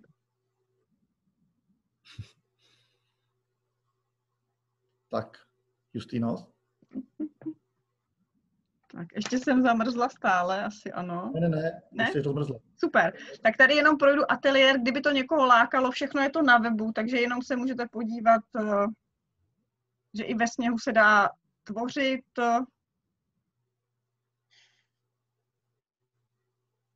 Asi znáte Facebook, znáte uzavřenou skupinu facebookovou, na Instagramu tam to nestíháme. Pravděpodobně asi i znáte, že máme teď vytištěné publikace, kdyby to někoho lákalo, můžete si je prohlédnout na webu. Snažíme se mít i videa a videonávody na webu. Probíhá zrovna tenhle týden online festival, můžete se tam podívat na videa a články. Na jaře bude pravděpodobně další měsíční, možná už dvoj až tříměsíční online kurz. A poslední věc, kterou jsme s Martinem chtěli s vámi sdílet, tak jsou časopisy, které si myslíme, že vás nejenom vytáhnou ven, ale můžou vám pomoct právě s tím vymýšlením kreativních uh, úkolů. Určitě nejdůležitější, já za sebe vnímám školní zahradu, kterou si můžete zdarma přihlásit k jejímu odběru čtyřikrát do roka a zároveň, když tam zadáte e-mail, tak získáte přístup do archivu, do všech těch čísel a je to osm stránek jako výborné konkrétní inspirace. Pak je tady bedrník a mrkvička, eh, které chodí na školy, můžete se přihlásit. A nevím, jestli všichni znáte Ahoj divočino, je to tak věková skupina 8 až 12 let, nějaké, takové jako něco jako starší ABčko pro přírodovědce, opravdu jako krásné texty a zároveň vyrábění tak uh, případně na Facebooku si prohlédnete, teďka půjde, zrovna půjde zimní číslo uh, s krásnou titulní stranou Vlka. A tady jenom o tom jsme už mluvili, kdo založil, učíme se venku, kdo ho podporuje, případně kontakty, ale ty asi také znáte. A poslední stránka, kterou bychom chtěli, jo, abyste si odnesli, pokud ji ještě neznáte, tak je to Učíme se venku loveno škola doma, kam chceme teď dávat víc a víc nějakých nápadů i právě na druhý stupeň nebo náročnější témata. Děkujeme. A možná ještě, ještě výzva pro, pro vás, jestli uh, jste udělali něco, co fakt funguje, uh, bylo to ve spolupráci, bylo to napříč předměty, bylo to venku, tak nám to pošlete Ideálně teda ne jako, jako tři řádky, dělali jsme tohle, bylo to super, protože my potom musíme jako kolem toho udělat jako veškerou tu omáčku a to zama vymyslet. Ale třeba to zadání, co jste dětem postali, plus třeba dva výsledky nám poslat a my to potom zveřejníme, eh, zveřejníme dál pro ty, pro ty další. Protože to není tak, že učíme se venku, ten obsah je jako celý náš, ale jsme trochu jak Jaromír Erben a sbíráme ty věci a, a pak potom podepisujeme právě web Učíme se venku. Takže rádi bychom sbírali i, i vaše věci. A asi je to, Hanko, teďka už tvoje zase. Super. Uh, moc, moc děkuju. Tak já jsem strašně ráda, že na závěr přišla tady ta inspirativní smršť. A myslím, že to ani úplně všichni nestíhali, protože už v chatu se potom moc toho neobjevovalo, protože všichni to jako uh, hotali. Já vám moc moc děkuju, nechci už natahovat moc čas, ale jenom vás poprosím, jestli byste nám mohli do chatu napsat, eh, co si z toho dneška odnášíte, možná i nějaký jako pocit, co teďka v sobě zrovna jako Ahoj. máte, jak, jak to jako je ve vás. A třeba jednu věc, která vás tak vzala, že ji prostě vyzkoušíte v průběhu nejbližších 14 dnů. To bude moc super. A jestli máte nějaké dotazy, tak klidně můžete se ptat i jako eh, pusou. Jako, zapnete si mikrofon, tak jsem to myslel. Já ty dotazy uh, úplně nevím, jestli stihnem. to už je asi na vás. Jestli ještě budete ochotní tady posečkat a jestli tady s náma ještě vydržíte třeba Martin a Justino ještě třeba 15 minut, nevím. My vydržíme dlouho, ale jde o to, že kdo, kdo už nebude, tak se klidně odpojujte, jak vám to bude příjemné a, a jaké jsou potřeby vašich eh, mláďat doma a partnerů a dalších pracovních povinností. Tak už tady vidím nějaké děkovačky a školní sbírka zaujala, paráda. Větvičky a bubliny, ty mě taky nadchly, teda ty bubliny. To asi půjdu zkusit, jestli bude ještě mrznout. Vaše bubliny. To, to se Jak se sedmáky pojedeme ptactvo.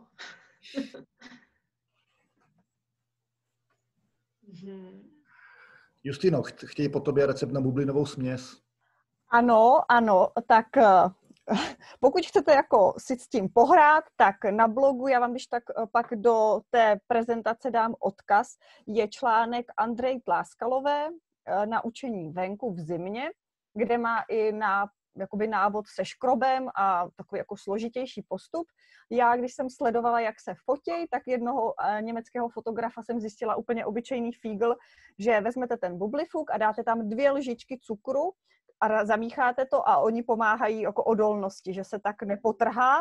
A co je dobré, nechat ten bublifuk venku, abyste ho neměli někde pod bundou nebo v teple, protože ono to zase trvá pak déle, než vám zamrzne. A třeba to vyjde až na pátý pokus, kdy tuhle tu krystalizaci uvidíte, protože opravdu stačí jenom mírný větřík. Zároveň, když nemáte to světlo, tak tam neuvidíte. Ale jinak uh, nepotřebujete ani i obyčejným bublifukem bez toho cukru to jde, pokud máte dobré podmínky, ale pokud vám fouká, uh, tak chce ten cukr a případně můžete zkusit i ten Andrej Tlaskový. Já si ho nepamatuju. Já ten- myslím, že tady Andrea Tláskalová s náma dokonce je. Já jsem tady Aha. někde zahlédla mezi přihlášenýma. Nebo byla. A ona už se odpojila, protože musela opravovat ty písemky ze včerejška. A když tak já to tady vygooglím rychle a uh, pak vám to dám do chatu. Tak už tady chodí další spousta eh, toho, co vyzkoušíte, budky, bubliny, školní sbírka. Ten sníh, tak to je paráda, jenom aby vydržel. Dotazy úplně nevidím, ale pokud No, eh, je no, máte, no, tak no, lektoři no. opravdu jsou ochotní ještě zůstat, takže můžete ještě i dotazy. Jinak samozřejmě někteří už říkají, nebo píšou tady, že se musí odpojit, to je určitě v pořádku, už přetahujeme o 10 minut skoro. No, my už to vlastně nejsme, to už jenom sledujete zákulisí, jako takový ten after party, jak probíhá. Kuláry. Mně teda jako spadla pěna na pivu, ale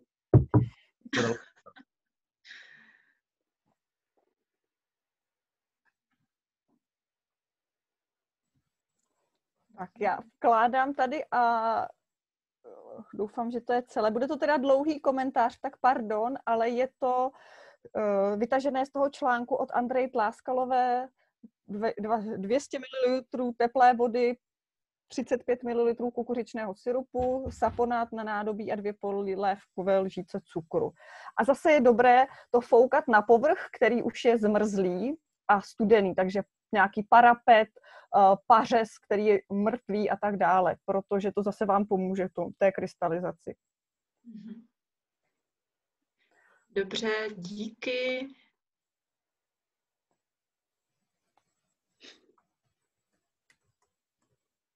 bylo krásně, jak spousta učitelů psalo, že, že už takhle učí. Jo?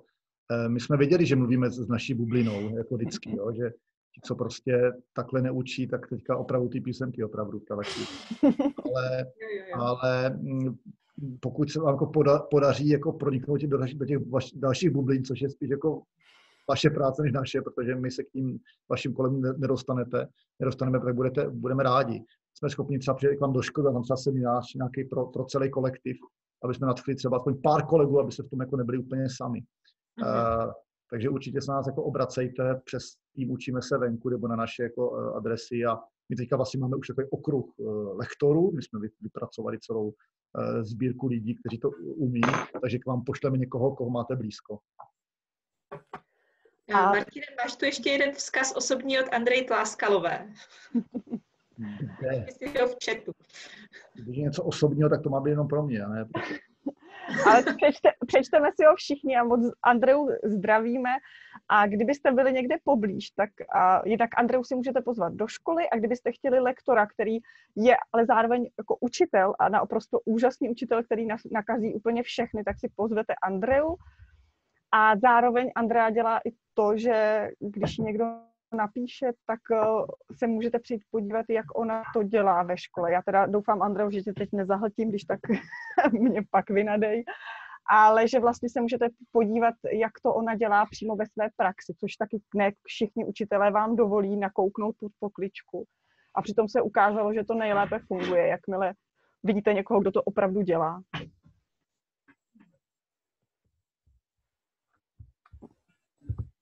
No tak Andera píše z Facebooku, už jsem to pochopil, když to pak spolu vyřídíme. Já ji pomůžu nějakou opravu písemek. Na to.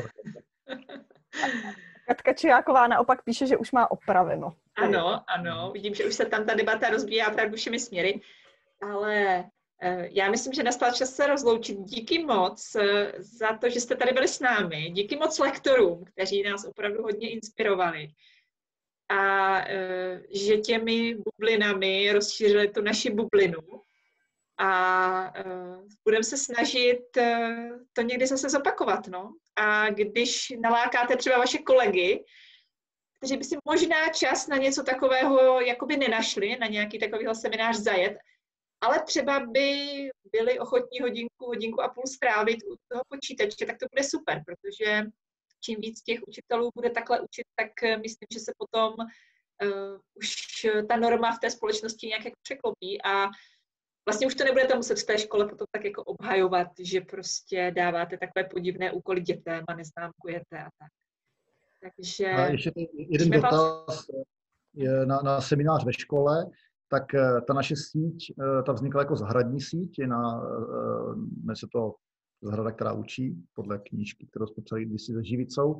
Takže když dáte školní zahrada CZ a tam dáte síť školních zahrad, tak vám najdou pro jednotlivé regiony odborníci, nebo spíš ti, ti, co vám potom pošlou odborníka do školy, který vás naučí buď bádat, učit venku různé předměty, tuším potom tvořit školní zahradu, jo, a pracovat s družinama, to je ta čtvrtá věc.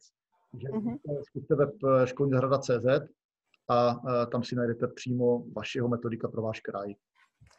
A já, jestli můžu, tak jednak, že my 9.12. budeme tenhle webinář dělat ještě jednou, tak abyste věděli, že to bude to samé, tak že tam nemusíte se hlásit znovu, že to zase pojedeme od kolegů z lesa ve škole.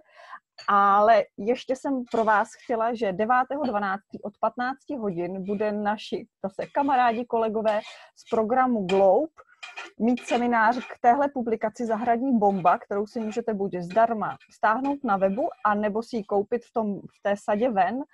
A co bude skvělé, tak tady na tom webináři budou konkrétně učitelé, kteří s tím pracovali. A myslím si, že to bude skvělá inspirace, protože už jenom ty eh, zase jména lidí, kteří tam jsou, jsou jako skvělé inspirace chodící. Tak kdyby vás to lákalo.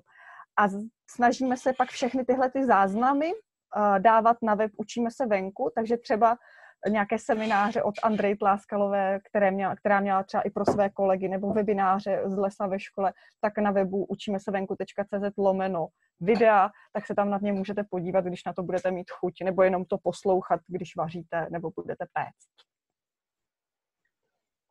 Super. 2015 klidně venkou už můžeš tedy povyhazovat z těch místností. Já jsem chtěla říct lidi, aby už určitě přestala nahrávat, protože jinak to bude vypadat, že to nikdy